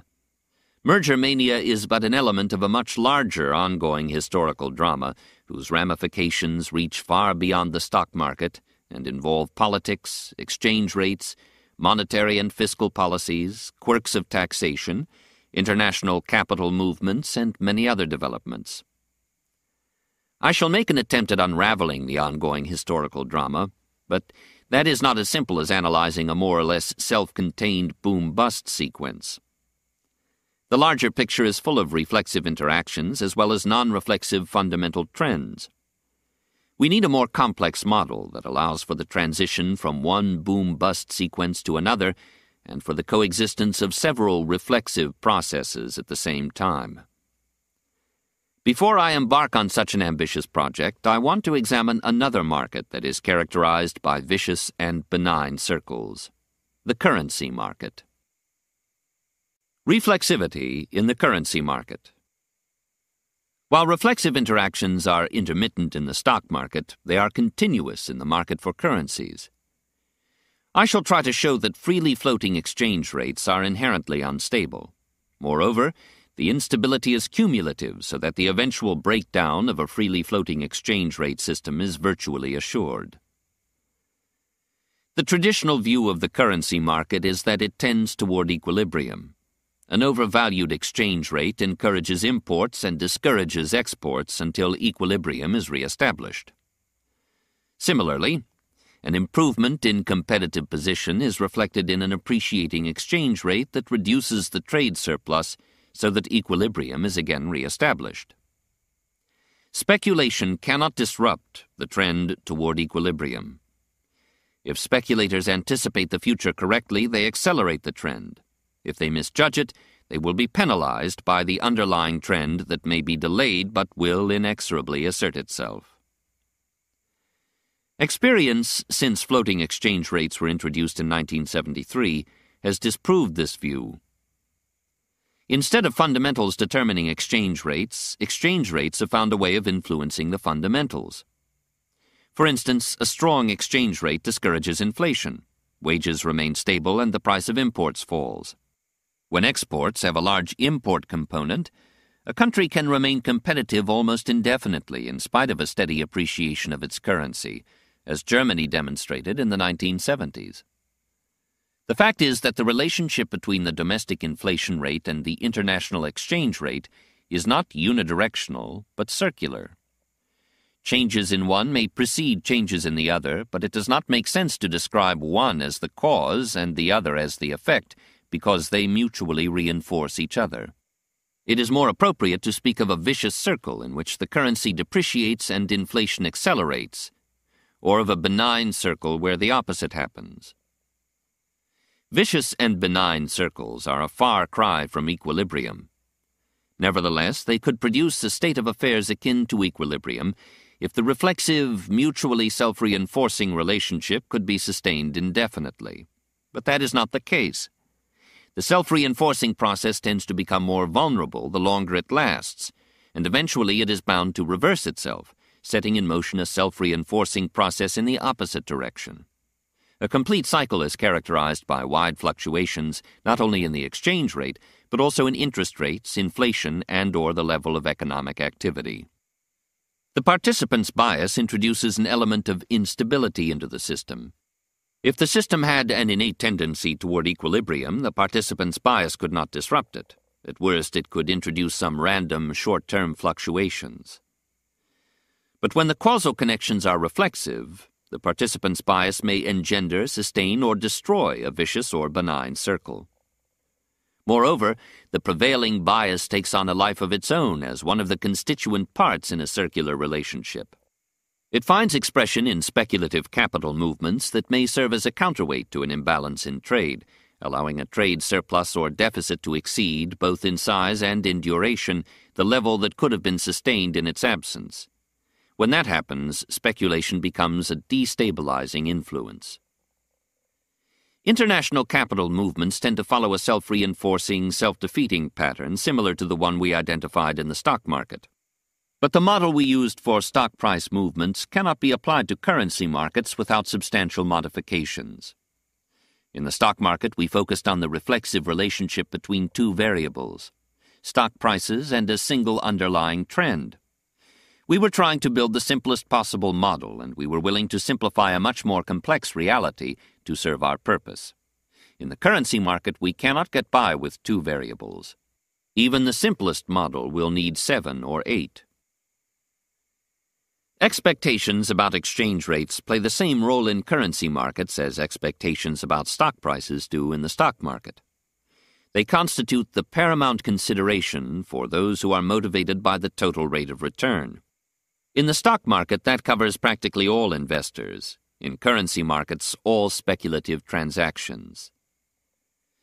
In the stock market, we used a model that focused on stock prices and disregarded dividend income. No great distortion was involved, because in the kind of boom bust sequences we were considering, stock price movements far outweigh dividend income. Similar conditions prevail in currency markets. Expectations about future exchange rates constitute the main motivation in speculative capital transactions. The major difference between the stock market and the currency market seems to be the role played by the fundamentals. We have seen that the fundamentals were rather nebulous even in the case of stocks, but at least we had no reason to doubt that stock prices were somehow connected to the fundamentals. In the case of currencies, the trade balance is clearly the most important fundamental factor. Yet the dollar strengthened between 1982 and 1985, while the trade balance of the United States was deteriorating. It would seem that the fundamentals are even less relevant in determining price trends than in the stock market. We do not need to look far afield for an explanation. It is to be found in the relative importance of speculative capital movements. As we have seen, speculative capital is motivated primarily by expectations about future exchange rates.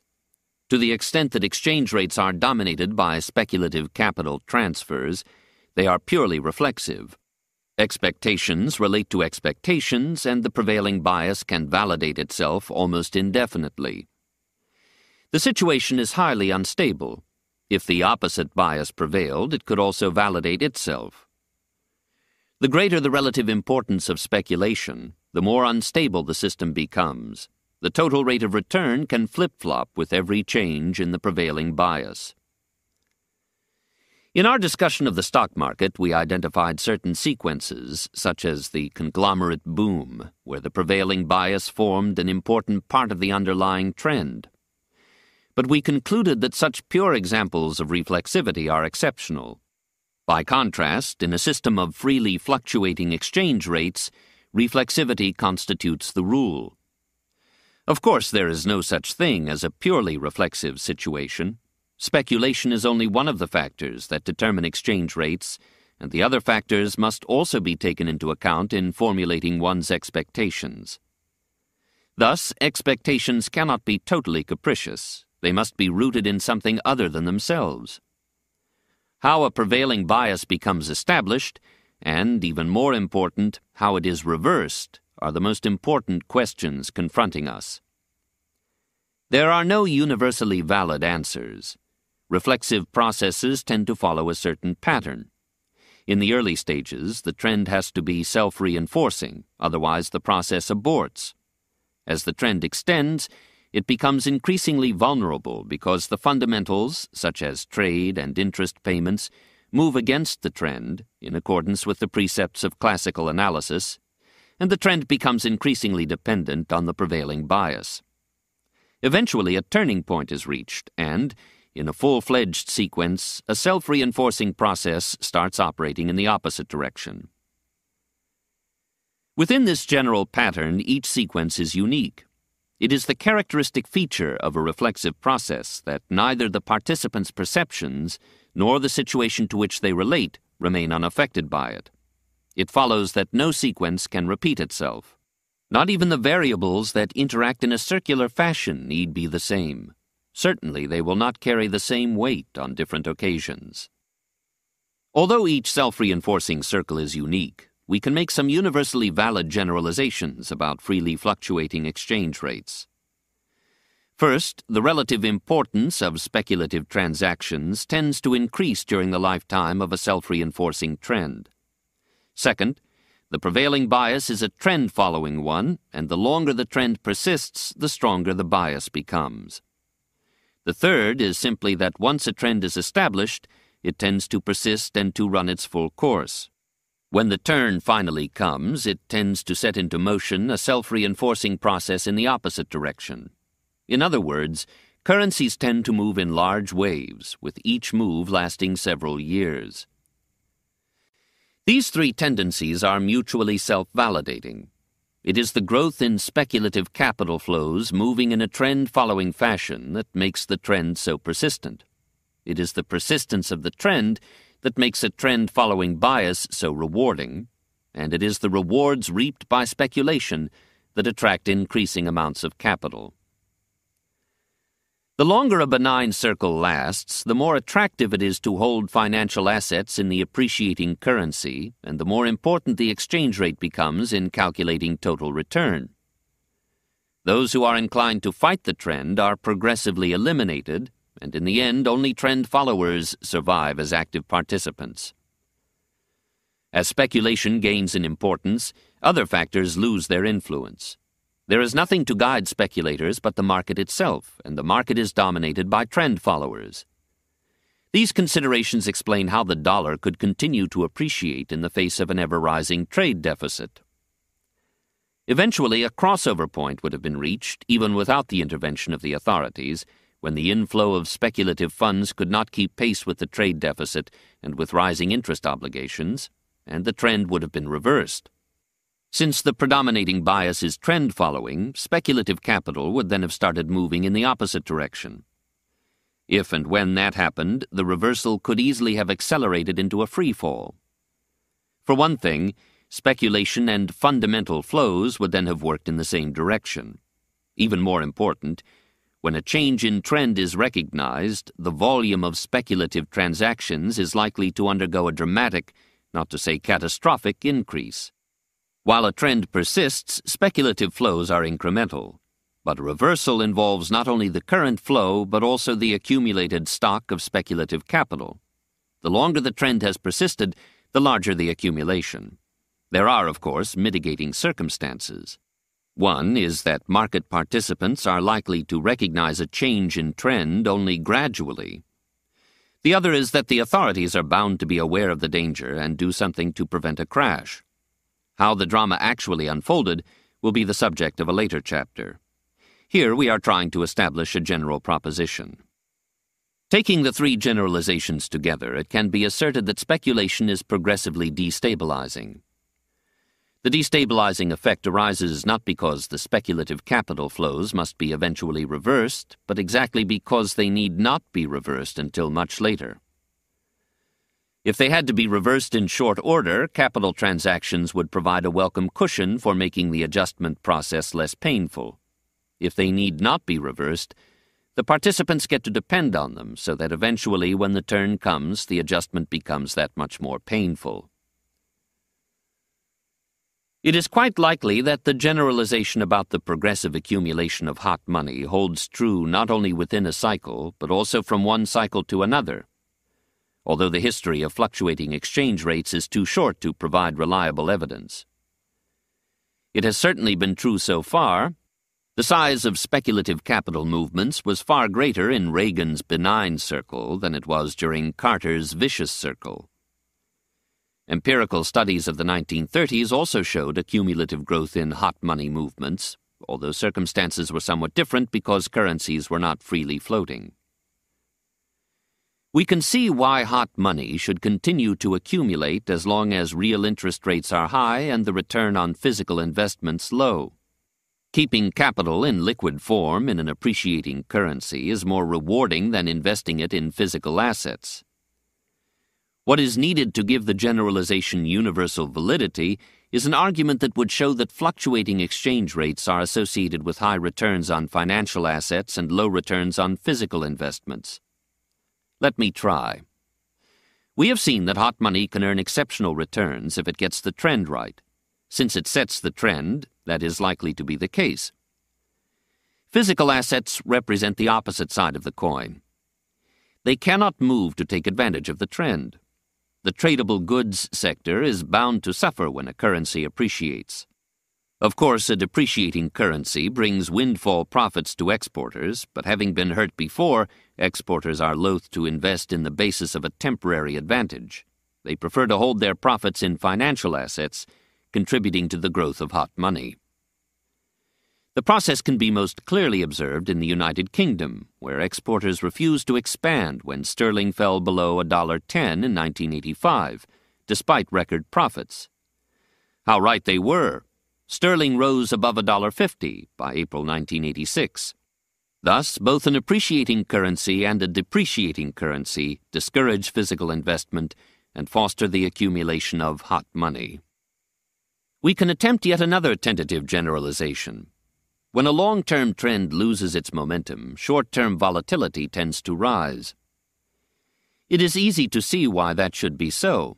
The trend following crowd is disoriented.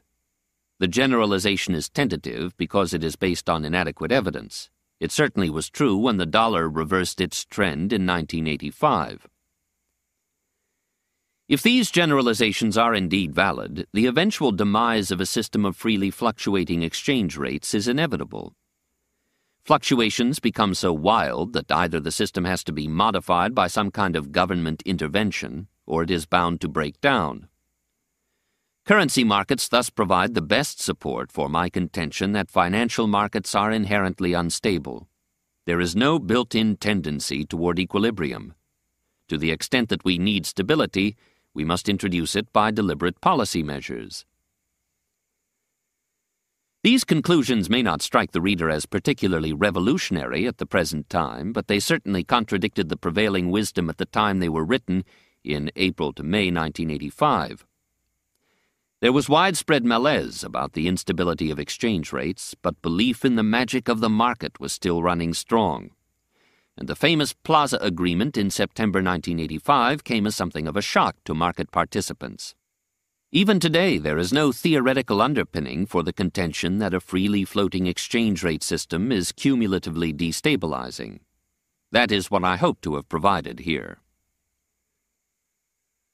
I have been speculating in currencies ever since they started floating, but I have failed to make money on a consistent basis. On balance, I traded profitably through 1980, then chalked up losses between 1981 and 1985. My approach has been tentative, based more on intuition than on conviction.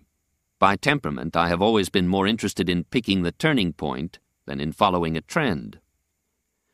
I managed to catch both the rise and fall of European currencies against the dollar until 1981, but I traded myself out of my positions too soon. Having lost the trend, I found it too demeaning to start following the trend followers. I tried to pick the reversal point instead needless to say, without success. I had some temporary profits in the early part of 1984, but I gave them all back. I was again engaged in a speculation against the dollar at the time I wrote this chapter. Writing it has undoubtedly helped to clarify my thoughts. Admittedly, the theory is far too abstract to be of much use in making concrete predictions. Specifically, the turning point cannot be determined until it has actually occurred. But as we shall see, the theory can be very useful in interpreting events as they unfold. The credit and regulatory cycle. There seems to be a special affinity between reflexivity and credit. That is hardly surprising. Credit depends on expectations. Expectations involve bias. Hence, credit is one of the main avenues that permit bias to play a causal role in the course of events. But there is more to it. Credit seems to be associated with a particular kind of reflexive pattern that is known as boom and bust. The pattern is asymmetrical. The boom is drawn out and accelerates gradually. The bust is sudden and often catastrophic. By contrast, when credit is not an essential ingredient in a reflexive process, the pattern tends to be more symmetrical. For instance, in the currency market, it does not seem to make much difference whether the dollar is rising or falling. The exchange rate seems to follow a wave-like pattern. I believe the asymmetry rises out of a reflexive connection between loan and collateral. In this context, I give collateral a very broad definition. It will denote whatever determines the creditworthiness of a debtor, whether it is actually pledged or not. It may mean a piece of property or an expected future stream of income. In either case, it is something on which the lender is willing to place a value.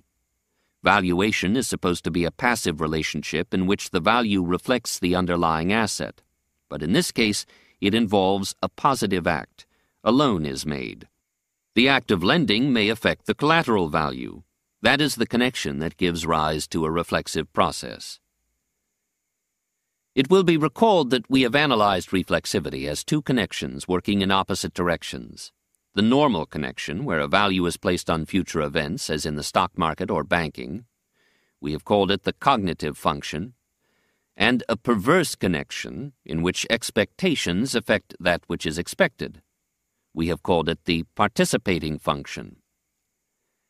The participating function is perverse because its effect is not always felt, and when it does operate, its influence is so difficult to disentangle that it tends to go unrecognized.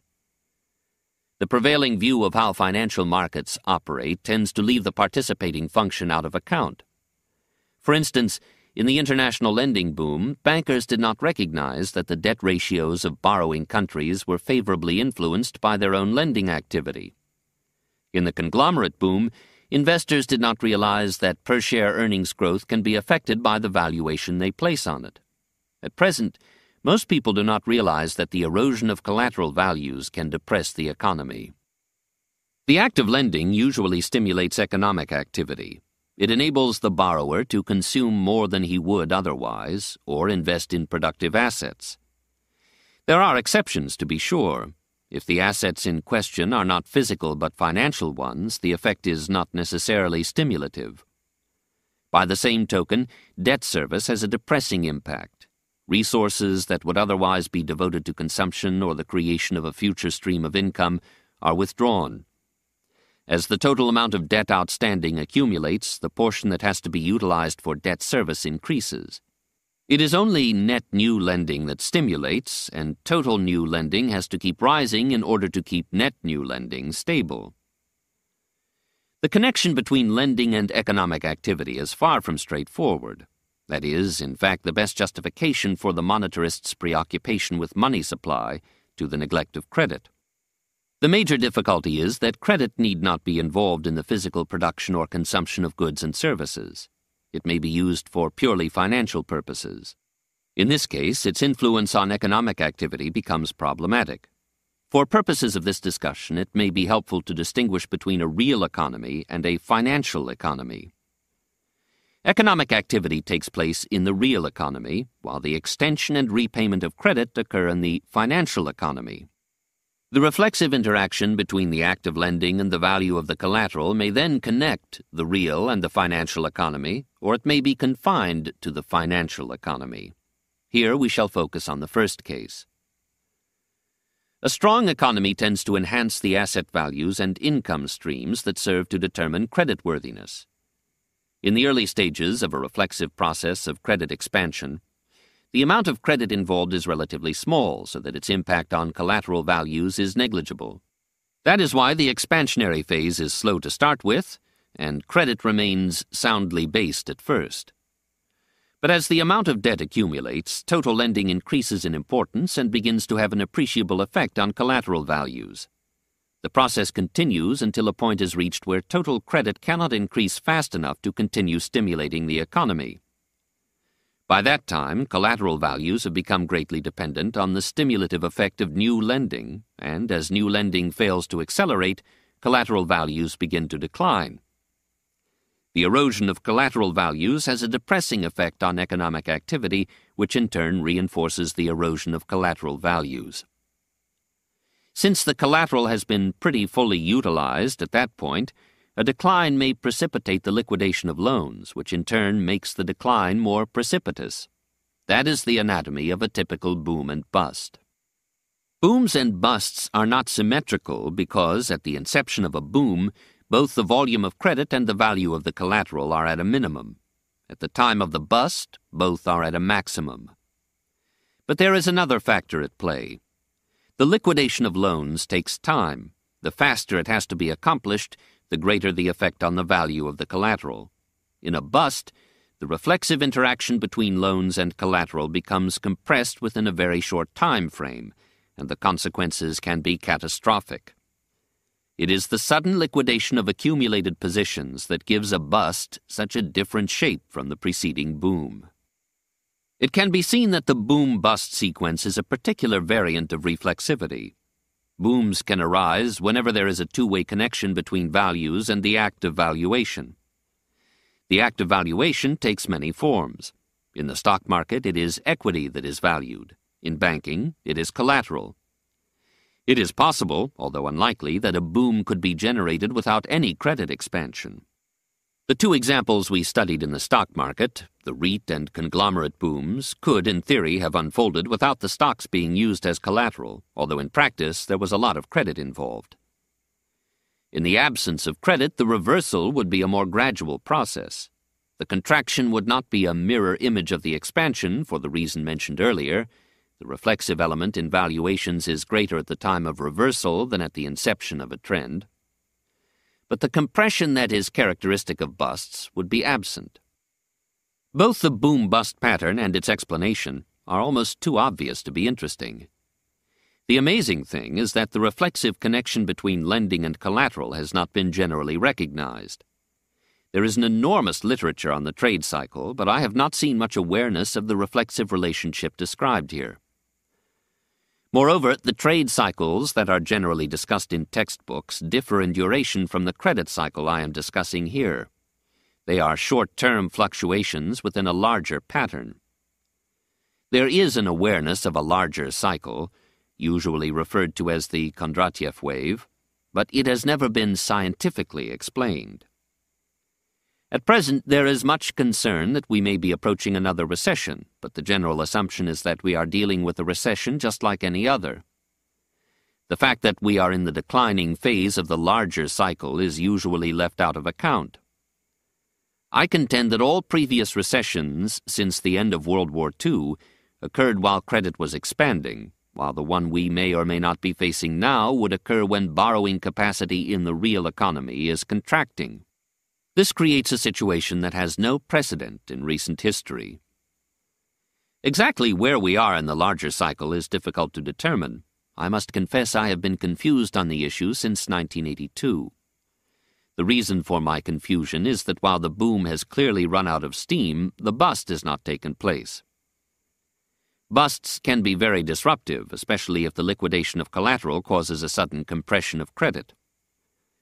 The consequences are so unpleasant that strenuous efforts are made to avoid them. The institution of central banking has evolved in a continuing attempt to prevent sudden, catastrophic contractions in credit. Since a panic is hard to arrest once it has started, prevention is best practiced in the expansionary phase.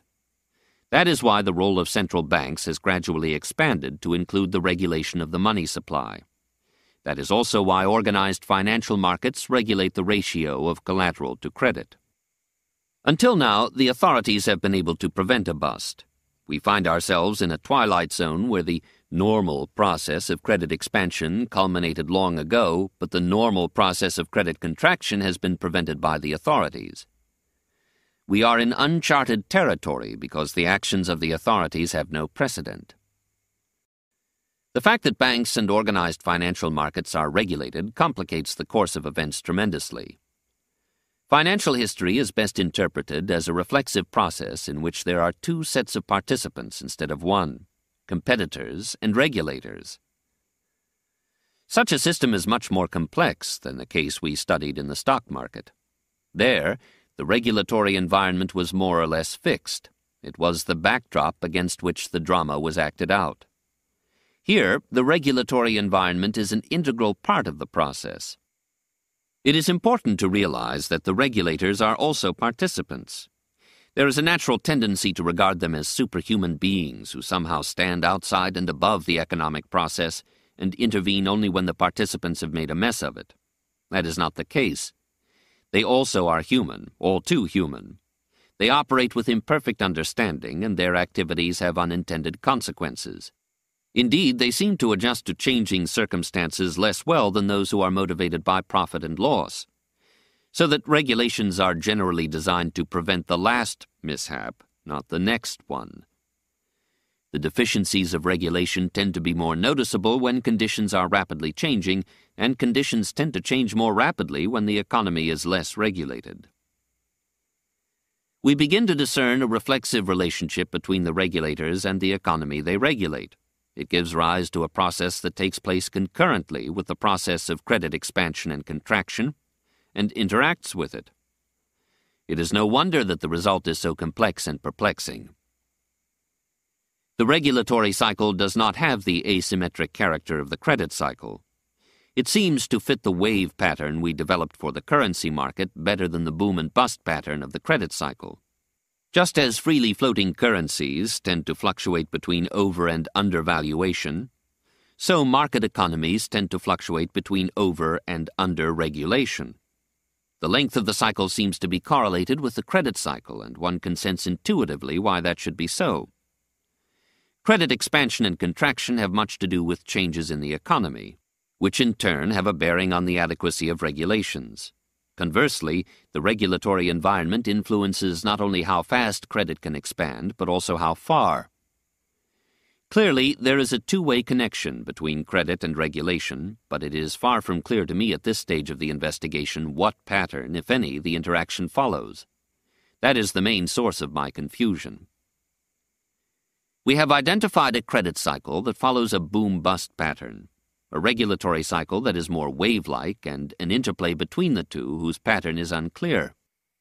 There are, of course, many secular developments involved as well, some of which relate to credit, some to regulation, and some to both. We have mentioned that central banks tend to get stronger after each crisis. That is a secular development that renders each cycle unique. In the Great Depression, both the banking system and the international trading system collapsed, making the contraction of credit and economic activity much more severe than it would have been otherwise. We can be certain that every effort will be made to avoid a similar collapse in this cycle. We did not dwell on the information revolution or on the improvements in transportation that have helped the development of an integrated world economy. The outcome of all these influences is a unique course of events that is easier to explain than to predict. Looked at from this perspective, the entire post war period is part of a large expansionary boom that is now well advanced and ripe for a bust. The bust has been avoided, however, by the intervention of the authorities at crucial moments. The same post-war period has also seen an almost complete swing from government regulation to unrestrained competition. We are now at a curious moment where the bias in favor of deregulation is still on the rise, yet the need for government intervention in specific areas is beginning to reassert itself. The banking industry, for one, is already on the way to becoming more regulated. One could try and write a history of the post war era in these terms. The present credit cycle started after the end of World War II. The origins of the regulatory cycle go back even farther to the New Deal, although the creation of the Bretton Woods system can be taken as the starting point as far as the world economy is concerned. The expansion that followed was intimately related to the removal of restrictions on international trade and investment. But international capital movements created problems for the Bretton Woods system that were never anticipated and remain unresolved. I shall not attempt to present the complete story here. I shall start at the point where I became actively involved, and I shall follow the path of my own involvement. This will give the investigation a more experimental character. My experience began after the breakdown of the system of fixed exchange rates in 1973. Relationships that had been fixed became subject to reflexive influences, and my interest veered from specific companies and industries to macroeconomic processes. My study of growth banks in 1972 constituted a transition point, although I did not know it at the time.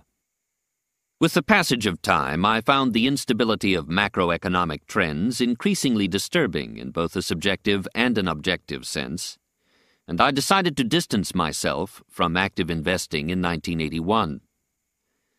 After the crisis of 1982, I made a theoretical study of the international debt problem.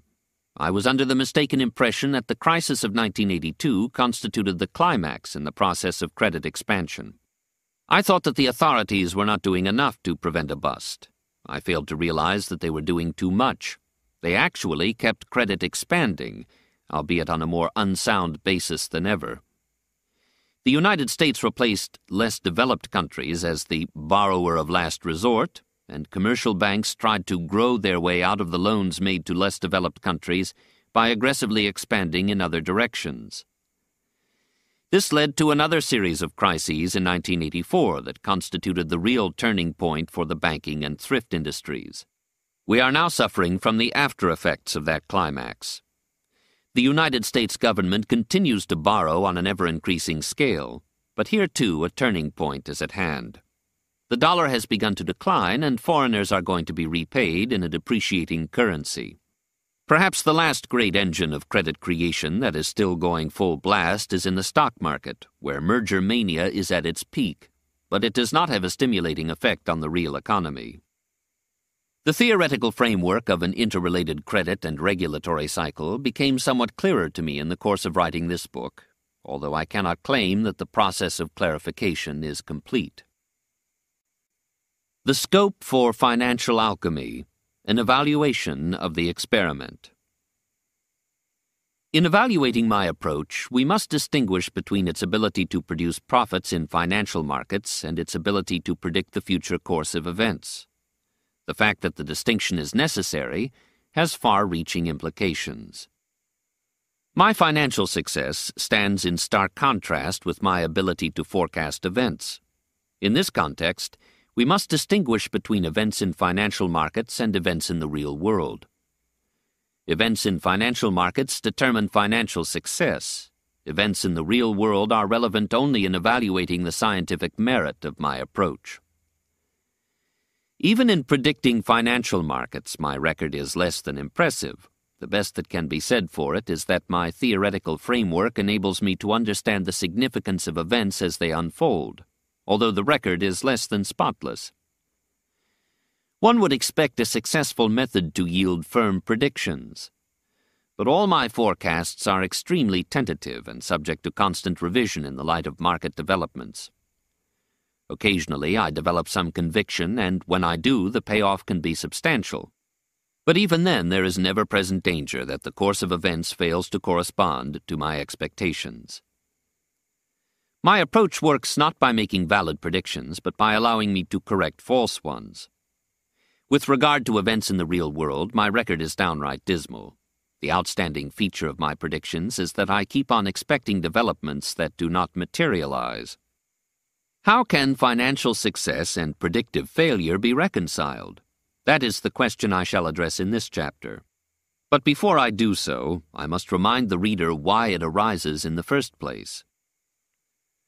My decision making process was greatly influenced by personal factors, such as my presence or absence from the office. The fact that the monetary results served as a possible criterion of the validity of my ideas made me try harder than I would have otherwise. This is borne out by the fact that my understanding was much hazier and my moves in the market more tentative during the control period than they were at the height of the experiment. Such haziness is quite common. It is the sharp focus that I managed to attain in the course of the experiment that is rather exceptional. I was greatly helped by the discipline of having to write down my thoughts. My arguments may not strike the reader as particularly well organized, but they are certainly more consistent than they would have been if I had not taken the trouble to formulate them in writing. I was also inspired by the fact that I was able to combine the two great abiding interests in my life philosophical speculation and speculation in financial markets. Both seemed to benefit from the combination. Together, they engaged me more than either one on its own. The other consideration has to do with external events. For instance, I recall the time, in 1981 to 82, when the Federal Reserve sought to control the quantity of money and allowed market forces to set interest rates. The market for government bonds, and to a lesser extent for stocks and currencies, became like a casino, and my approach of formulating hypotheses and testing them against the market became worse than useless. By the time I recognized a market trend and formulated a hypothesis to explain it, the trend had already changed, and I had to find a new hypothesis. The result was that I was always lagging behind the market and kept on getting whipsawed until I abandoned the hopeless struggle and delegated the task of gambling in government bond futures to someone more qualified. I found a computer based speculator, Victor Niederhoffer, who had developed a system using the assumption that the market is a casino. He operated successfully until the international debt crisis of 1982 changed the nature of the game. He had the rare fortitude to close the account before he had lost all the money he had made for me previously. I could argue that an approach which allows me to recognize when it does not work is a valid approach, Still, it is somehow more convincing to demonstrate it at a juncture when it does work. These two considerations go a long way toward explaining my financial success. I have never claimed scientific status for my theoretical framework. On the contrary, I have argued that reflexive processes cannot be predicted by scientific method, and the real-time experiment was a deliberate attempt to explore an alternative method.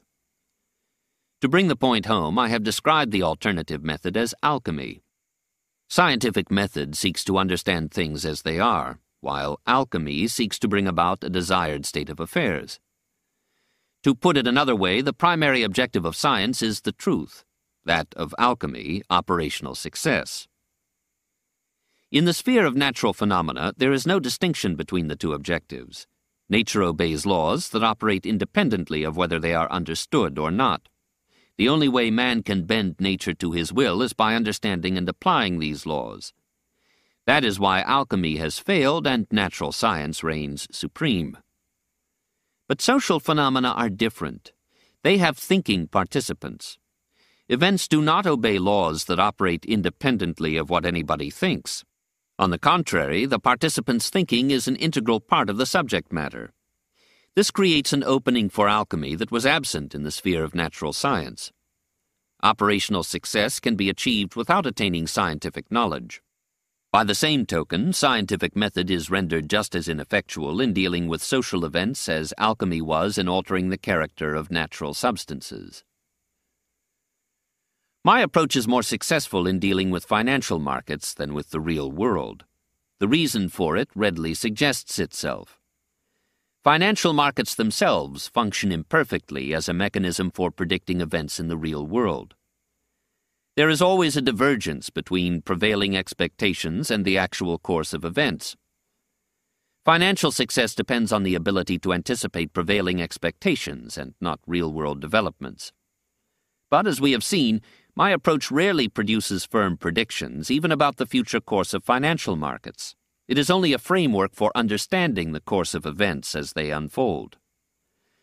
If it has any validity, it is because the theoretical framework corresponds to the way that financial markets operate.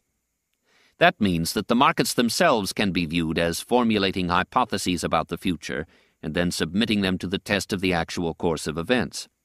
The hypotheses that survive the test are reinforced, those that fail are discarded. The main difference between me and the markets is that markets seem to engage in a process of trial and error without the participants fully understanding what is going on, while I do it consciously. Presumably, that is why I can do better than the market. If this view is correct, financial markets bear a curious resemblance to scientific method. Both involve the testing of hypotheses. But there is a fundamental difference. In science, testing serves to establish the truth. In financial markets, the criterion is operational success. In contradistinction with natural science, the two criteria do not coincide. How could they? Market prices always express a prevailing bias, whereas natural science works with an objective criterion. Scientific theories are judged by the facts. Financial decisions are judged by the distorted views of the participants. Instead of scientific method, financial markets embody the method of alchemy. This interpretation of financial markets as a mechanism for testing hypotheses by alchemy is both novel and challenging. The fact that it is not generally accepted adds to the challenge. How can markets be testing something when the participants don't know what they are doing? The answer is to be found in the results they achieve. Try to propound an unformulated hypothesis and you get a hit or miss result. By contrast, when you deliberately formulate your hypotheses, you can consistently outperform the market averages, provided your specific predictions are not too far off the mark. Treating the market as a mechanism for testing hypotheses seems to be an effective hypothesis. It produces results that are better than a random walk. This conclusion validates the approach I have taken over a strictly scientific one. If we abide by the methods of natural science, we arrive at the random walk theory. The hypotheses that are being tested have to be disregarded because they do not constitute facts, and what we are left with is a jumble of haphazard price fluctuations. On the other hand, if we look at the situation from the inside, from the vantage point of a participant, we discover a process of trial and error. It is not easy to make sense of the process. Many people participate only with a vague idea of what is going on, and I must confess that the sensation of being on a random walk is not unfamiliar to me. My attempts at formulating conjectures about the future work only intermittently. Oftentimes, all I get is white noise but when I succeed in formulating a worthwhile conjecture, the results can be very rewarding. Markets provide the criterion by which investment decisions are judged. Moreover, they play a causal role in shaping the course of events. The information is more readily available than events in the real world. Hence, the market action offers the most convenient feedback mechanism by which one's expectations can be evaluated. One need not regard the market as always right in order to use it in that capacity. Indeed, if one believes that the market is always right, there is little to be gained from having a feedback mechanism because the prospect of outperforming the market becomes a matter of pure chance. The contention of classical economic theory that the market mechanism assures the optimum allocation of resources is false. Its true merit is that it provides a criterion by which the participants can recognize their own misconceptions. But it is important to realize what kind of criterion the market provides. Far from being always right, it always incorporates the prevailing bias. If participants labor under the misapprehension that the market is always right, the feedback they get is misleading. Indeed, the belief in efficient markets renders markets more unstable by short circuiting the corrective process that would occur if participants recognized that markets are always biased. The more the theory of efficient markets is believed, the less efficient the markets become. How good are financial markets in predicting real world developments? Reading the record, it is striking how many calamities that I anticipated did not in fact materialize. The financial markets must have come to reflect the same concerns. Otherwise, my false expectations could not have proven so rewarding. This raises an interesting possibility. Perhaps some of the developments I predicted were preempted by the very fact that they were anticipated by the market, and the market provoked a reaction that prevented them from happening. This seems to hold true of the collapse of the banking system and of the collapse of the dollar, and also of the bull market of our lifetime, which was to be followed by a crash, 1929 style. The monetary authorities became so concerned about the excessive buoyancy of financial markets that in the end they refused to supply the excess liquidity that would create a speculative bubble. Their action was neither deliberate nor unanimous. In the U.S., Volcker was opposed to providing excess liquidity, but he was defeated in the Open Market Committee and had to appeal to Germany to join in a round of interest rate reductions. When Secretary Baker pushed for another round, the Germans balked, and the resulting row almost wrecked the Group of Five process. The Japanese devised their own medicine, but by the time it took effect, the speculative bubble was sufficiently developed to precipitate a more or less full scale bust in the Japanese stock market. No wonder I had difficulty in recognizing the premature demise of the bull market of a lifetime. It is possible that the United States will continue to create excess liquidity, but I consider it unlikely that it will cause a speculative bubble because the confidence has been too badly shaken. It is more likely that investors would flee to liquidity and gold. When I finally recognized that markets can preempt the catastrophes they predict, I concluded that we live in an age of self defeating prophecies. The collapse of oil prices does not seem to fit the argument because it actually occurred but that may be attributed to the fact that either I or the authorities have misjudged its dire consequences. I expected such severe repercussions on the banking system and on the economy as to make a levy on imported oil indispensable, while we seem to have gotten along fine without it. In the end, it was left to OPEC to pull itself together. The present arrangement is no more permanent than the Group of Five process. The drama has yet to be played out in both cases. This line of argument opens up a fascinating vista. I may have discovered not just a reasonably effective way of operating in financial markets, but an actual model of how the financial markets operate in the real world. Models currently in use are based on the misconception that markets can only foreshadow events, they cannot shape them. My approach recognizes that financial markets can also precipitate or abort future events. Following this line of argument, it is possible that we have indeed been teetering on the verge of both a deflationary spiral and a free fall of the dollar, not to mention all sorts of other financial calamities. And we have been saved from them only because of the danger signals emitted by the financial markets.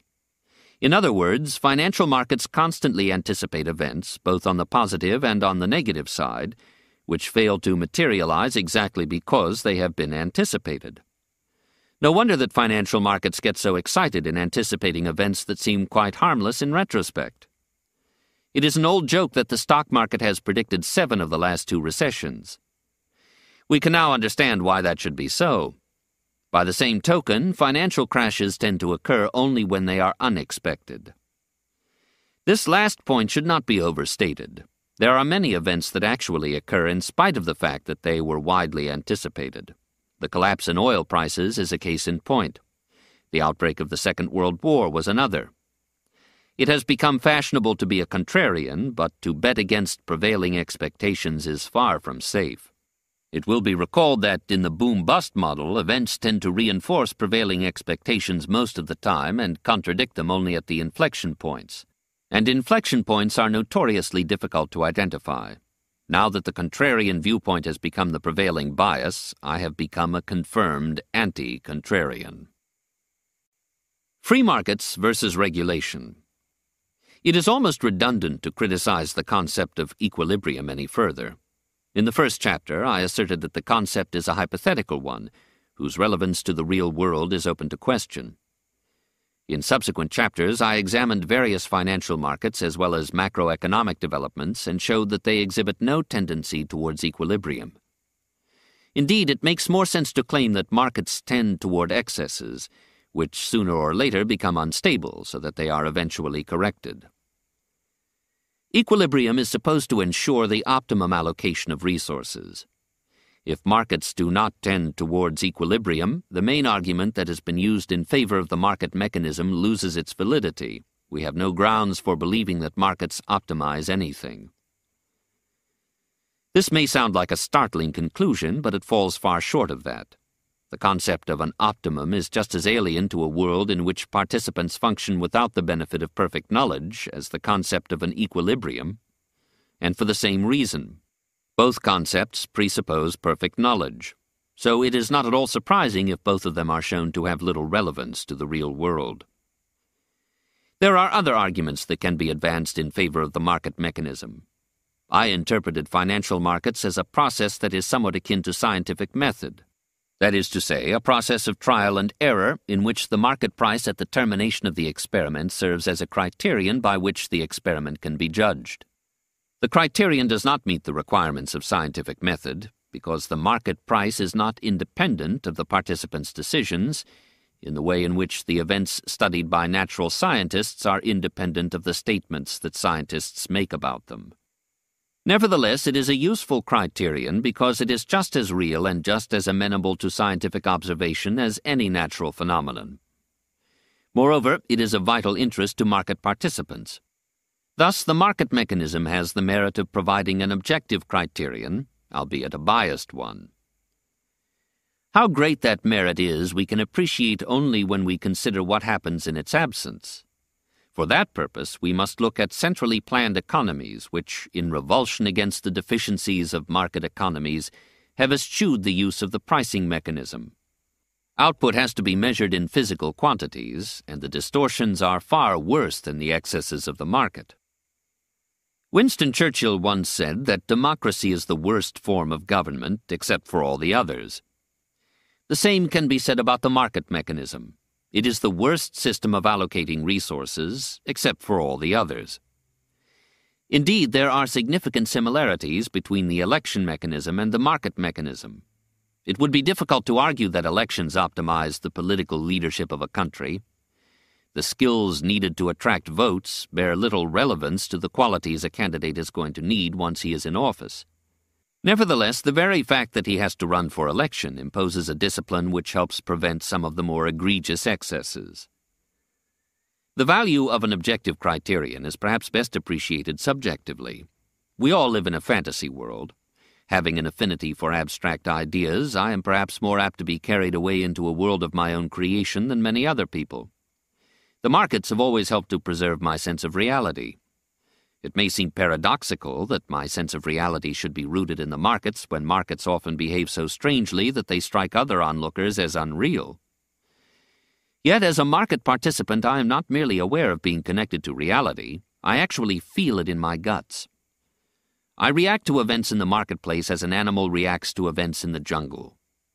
For instance, I used to be able to anticipate an impending disaster because it manifested itself in the form of a backache I was, of course, unable to tell what shape the disaster would take. By the time I could identify it, my backache would dissolve.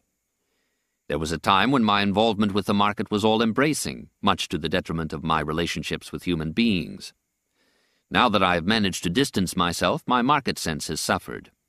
Events often reach me as white noise. I cannot make sense of them. For instance, during the real time experiment, market developments had sharp contours. During the control period, the outlines became more blurred. It is interesting to observe how my market involvement relates to my ability to organize abstract ideas.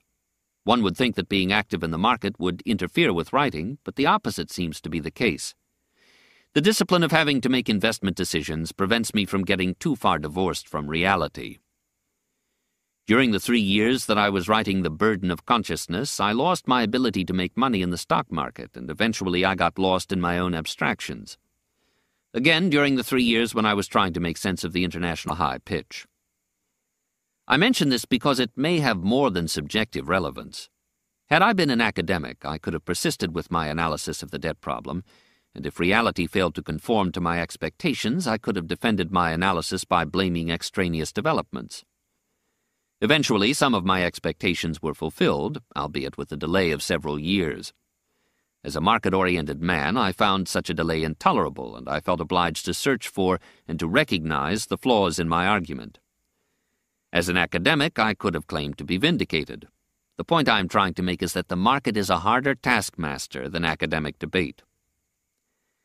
Yet it is easy to exaggerate the merits of having an objective criterion at our disposal. We have become so fixated on objective criteria that we are inclined to endow them with a value they do not intrinsically possess. Profit, the bottom line, efficiency, takes on the aspect of an end in itself instead of being a means to an end. We tend to measure every activity by the amount of money it brings. Artists are valued according to the price their products sell for. What is worse, we often want to make a profit from activities that ought to be otherwise motivated. Politicians want to earn lecture fees and sell their memoirs. White House aides become lobbyists, generals in charge of procurement angle for lucrative jobs in industry, and so do lawyers working for regulatory agencies. The profit motive has become so all embracing that we find it hard to accept when someone is motivated by considerations other than profit. Values that motivate people cannot be readily translated into objective terms, and exactly because individual values are so confusing, we have elevated profit and material wealth, which can be readily measured in terms of money, into some kind of supreme value. Surely that is an exaggeration. The fact is that in a world of imperfect understanding, there is some kind of exaggeration or bias involved in every value. In our civilization, the value of profit is exaggerated, and so is the value of objectivity. Let us take a closer look at the kind of criterion market prices provide. The distinction we have drawn between scientific method and alchemy will come in useful. I have argued that in the study of social phenomena, we need to distinguish between two kinds of validity one associated with truth, the other with effectiveness. In natural science, the distinction is missing. Theories are effective only if they are true. That is why alchemy does not work.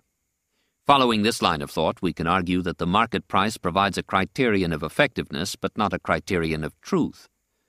Future market prices will determine how the various participants fare, but they will not determine whether their understanding is correct.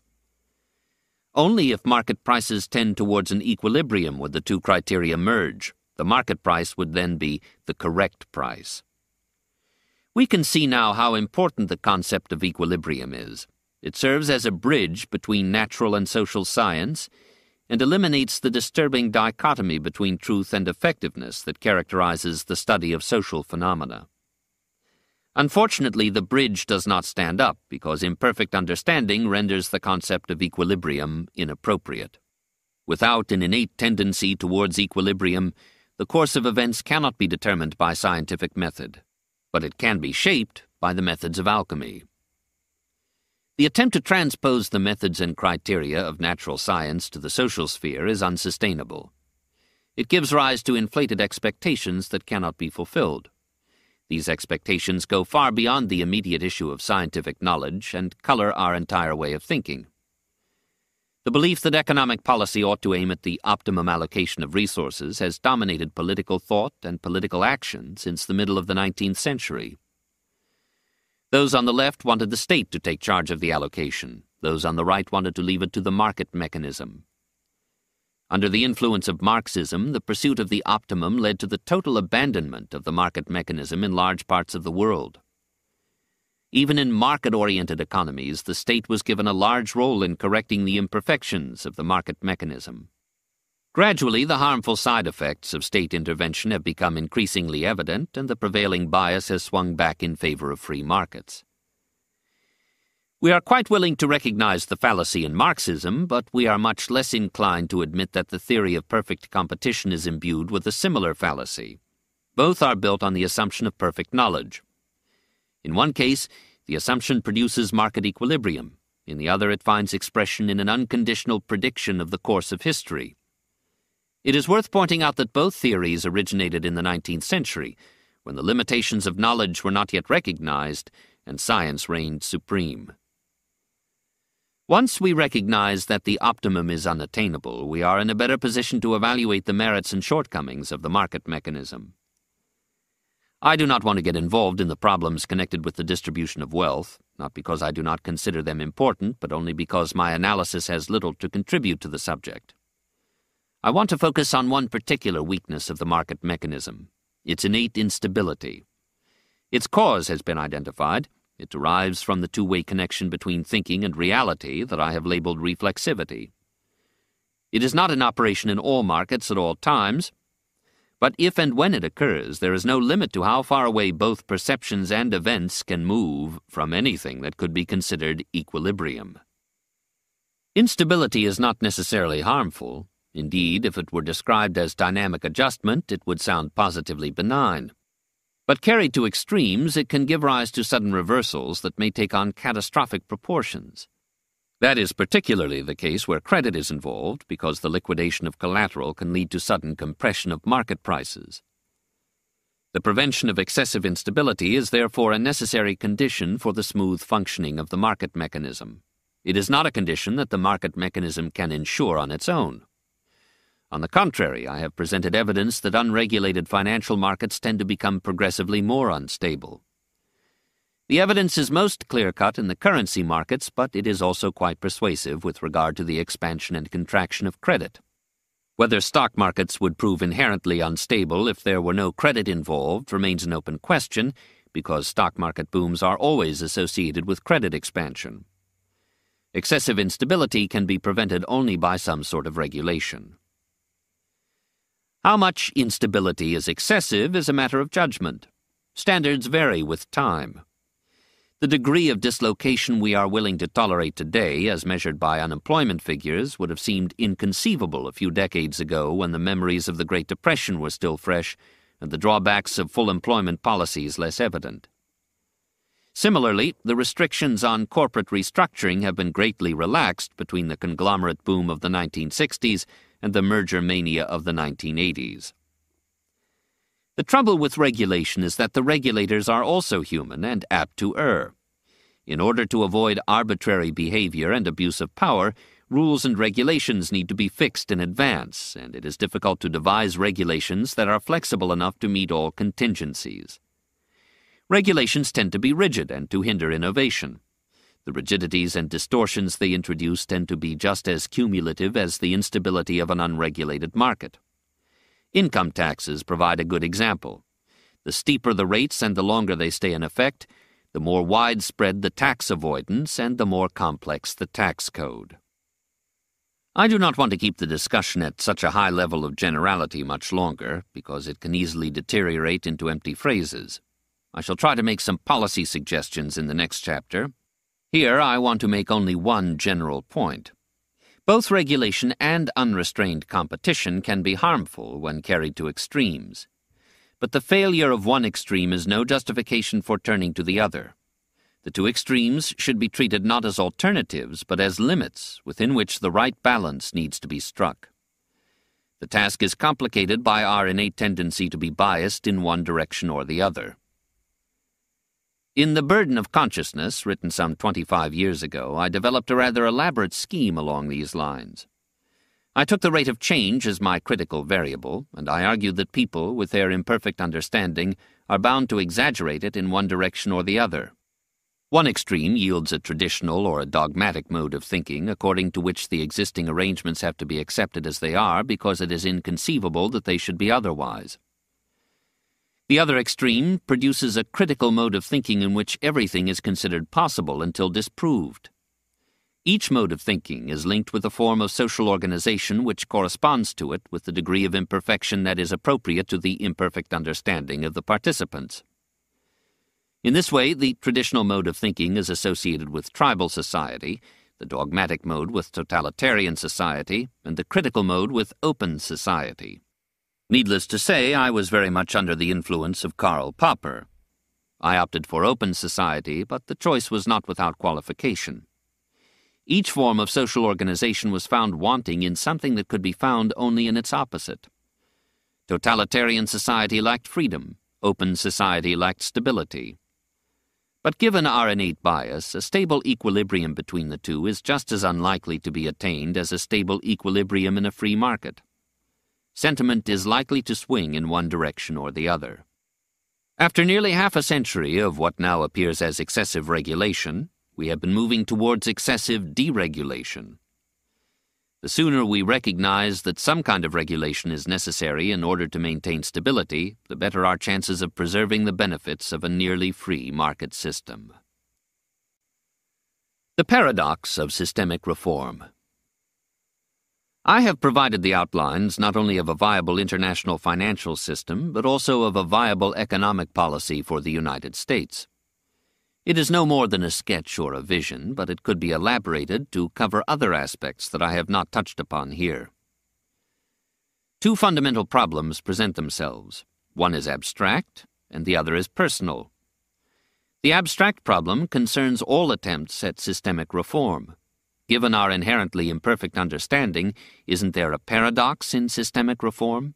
How can we hope to design an internally consistent system? The personal problem concerns my aversion to bureaucracy. An international central bank would make bureaucracy inescapable. I believe the paradox of systemic reform is spurious, but it needs to be dealt with. Only if one could demand permanent and perfect solutions would it have any validity. But it follows from our imperfect understanding that permanent and perfect solutions are beyond our reach. Life is temporary, only death is permanent. It makes a great deal of difference how we live our lives. Temporary solutions are much better than none at all. There is a great temptation to insist on a permanent solution. To understand its source, we must consider the meaning of life and death. The fear of death is one of the most deeply felt human emotions. We find the idea of death totally unacceptable and we grasp at any straw to escape it. The striving for permanence and perfection is just one of the ways in which we seek to escape death. It happens to be a deception. Far from escaping the idea of death, we embrace it. Permanence and perfection are death. I have thought about the meaning of life and death long and hard, and I have come up with a formulation that I have found personally satisfying. I shall sum it up here, although I realize that it may not be as meaningful to others as it is to me. The key is to distinguish between the fact of death and the idea of death. The fact of death is linked with the fact of life, whereas the idea of death stands in juxtaposition with the idea of consciousness. Consciousness and death are irreconcilable, but life and death are not. In other words, the fact of death need not be as terrifying as the idea. The idea of death is overpowering, in terms of death, life and everything connected with it lose all significance. But the idea of death is only an idea, and the correspondence between facts and ideas is less than perfect. It would be a mistake to equate the idea and the fact. As far as facts are concerned, the clear and present fact is that we are alive. Death as a fact looms in the distance, but when we reach it, it will not be the same as the idea we have of it now. In other words, our fear of death is unlikely to be validated by the event. In thinking about life and death, we have a choice. We can take life or death as our starting point. The two are not mutually exclusive. Both need to be dealt with, as a fact and as a thought. But the point of view we adopt tends to favor one or the other. The bias we develop permeates all aspects of our thinking and existence. There are civilizations, like that of the Egyptians, that seem to be devoted to the cult of death. There are others, like that of the Greeks, where even the immortals seem to lead normal lives. In most instances, the two points of view are at odds, and the interplay between them makes history. The conflict between the spiritual and the temporal in Christianity is a case in point. The clash of biases can manifest itself in many more subtle ways. Thus, we can take different attitudes with regard to economic regulation. One position is that regulation is useless because it introduces distortions that, left to themselves, eventually lead to a breakdown of the system. This point of view is powerfully reinforced by the argument that the market mechanism, left to itself, tends toward equilibrium. The opposite point of view is that perfection is not attainable either by the market or by regulation. Markets are too unstable, regulation too rigid. Markets need to be regulated, but regulation cannot be left to itself either. It is in constant need of revision. The fact that no system is perfect is not a valid argument against trying to perfect the system. Take Bretton Woods. The fact that it eventually broke down does not alter the fact that it provided the basis for a quarter of a century of prosperity. When it comes to a choice between the two attitudes, mine is clearly in favor of life and the temporary and imperfect structures we can create within it. Although I advocate a comprehensive reform of the financial system, I have no illusions that the new system will be any more flawless or permanent than the preceding ones. On the contrary, I regard the search for permanence and perfection as an illusion. The pitfall in a well functioning system is that it lulls us into complacency. That is what happened to Bretton Woods, and that is what will happen to the next one if we design it too well. This brings me to the personal problem I have with systemic reform. Systems are operated by bureaucrats, and I have an instinctive aversion to the bureaucratic mentality. In advocating a more regulated international financial system, I seem to be wishing for something that I abhor. The problem is real. The distinctive feature of every bureaucracy is its striving for self perpetuation. Every system faces the danger that it becomes ossified in the hands of the bureaucracy that administers it. This holds true for Christianity as well as communism. The dead hand of the bureaucracy is difficult to escape. Mao Zedong tried it by instigating the Cultural Revolution, and the consequences were disastrous. But the problem is not insurmountable. When bureaucrats are in charge of a market, market action serves to keep the bureaucrats on their toes. Experience shows that central banks are among the most flexible, innovative, and efficient institutions. The reason is that the market provides a criterion by which the results of their actions can be judged. They may come under the influence of false ideologies, just like anybody else, but when a policy does not work, they cannot help but notice it. For instance, the Federal Reserve adopted a monetarist stance in 1979 but abandoned it in August 1982. Similarly, the IMF operated with a rather rigid set of prescriptions in dealing with heavily indebted countries, but gradually it has been forced to abandon a formula that does not work. Central banks are often criticized for following the wrong policies, but the very fact that the failures can be demonstrated provides a potent discipline. Moreover, central banks have been surprisingly innovative in handling crises. The Bank of England invented the lifeboat in 1974, and the Federal Reserve applied it on a worldwide scale in the debt crisis of 1982. Volcker, in particular, proved to be a man who thrives on crises. But the fact that a man like Volcker could be at the helm of a central bank cannot be treated as an accident.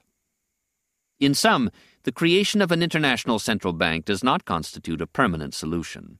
Indeed, the very idea that it constitutes a permanent solution carries with it the seeds of the next crisis. Epilogue The unifying theme of this book is the concept of reflexivity. I have focused on its implications for the social sciences in general and financial markets in particular. I have left other areas largely unexplored. I should like to mention them briefly here, although my thoughts relating to them are not properly developed. They ought to form the subject of another book in the future, but I'm afraid I may not have a chance to write it, especially if I remain involved in financial markets.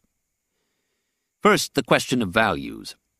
Economic theory has trained us to take values as given, although the evidence suggests that they are shaped by a reflexive process.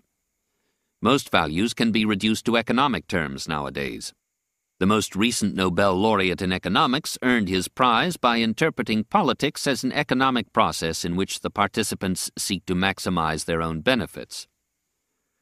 But that has not always been the case, and even today there are many parts of the world where profit maximizing behavior takes second place to other motivations. Religion and tradition are less easily amenable to economic analysis than is politics in a materialistic culture.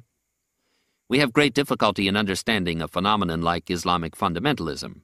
At the other end of the scale, a movement that we profess to admire, solidarity, is also alien to our way of thinking. The predominance of economic values in Western and Westernized societies is itself a function of our economic success. Values evolve in reflexive fashion.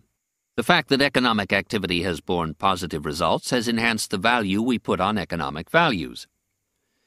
The same can be said about scientific method. The triumphs of natural science have raised the status of scientific method to unsustainable heights. Conversely, various forms of art have played a much bigger role in cultures not very far removed from our own just because it was easier to achieve positive results in art than in economic activity. Reflexive processes are bound to lead to excesses, but it is impossible to define what is excessive because in matters of values there is no such thing as normal. Perhaps the best way to approach the subject of values is to start from the position that they are rooted in fantasy rather than reality. As a consequence, every set of values has a flaw in it. We can then ask what are the elements of fantasy in a particular set of values and how the elements of fantasy and reality have interacted. Any other approach would introduce a bias in favor of our own flawed set of values. Values are closely associated with the concept of self, a reflexive concept if ever there was one. What we think has a much greater bearing on what we are than on the world around us. What we are cannot possibly correspond to what we think we are, but there is a two-way interplay between the two concepts. As we make our way in the world, our sense of self evolves. The relationship between what we think we are and what we are in reality is the key to happiness. In other words, it provides the subjective meaning of life. I could readily provide a reflexive interpretation of my own development, but I am reluctant to do so because it would be too revealing, not to say incriminating. It will come as no surprise to the reader when I admit that I have always harbored an exaggerated view of my self importance.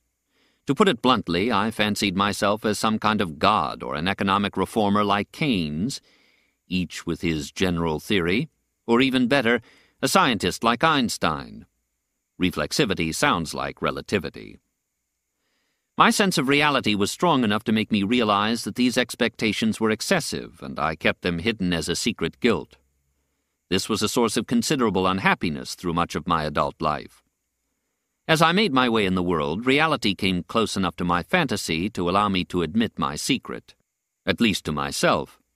Needless to say, I feel much happier as a result. I have been fortunate enough to be able to act out some of my fantasies. This book, in particular, fills me with a great sense of accomplishment. Reality falls far short of my expectations, as the reader can readily observe, but I no longer need to harbor a sense of guilt. Writing this book, and especially these lines, exposes me in a way I never dared to expose myself before, but I feel I can afford it. My success in business protects me. I am free to explore my abilities to their limits exactly because I do not know where those limits are. Criticism will help me in this endeavor. The only thing that could hurt me is if my success encouraged me to return to my childhood fantasies of omnipotence. But that is not likely to happen as long as I remain engaged in the financial markets because they constantly remind me of my limitations. Given my personality, I have been extremely lucky in my career choice, but of course it was not really a choice, but a reflexive process in the course of which both my career and my sense of self evolved in tandem. I could say a lot more on the subject, but as long as I have a career in business, I have to plead the Fifth Amendment.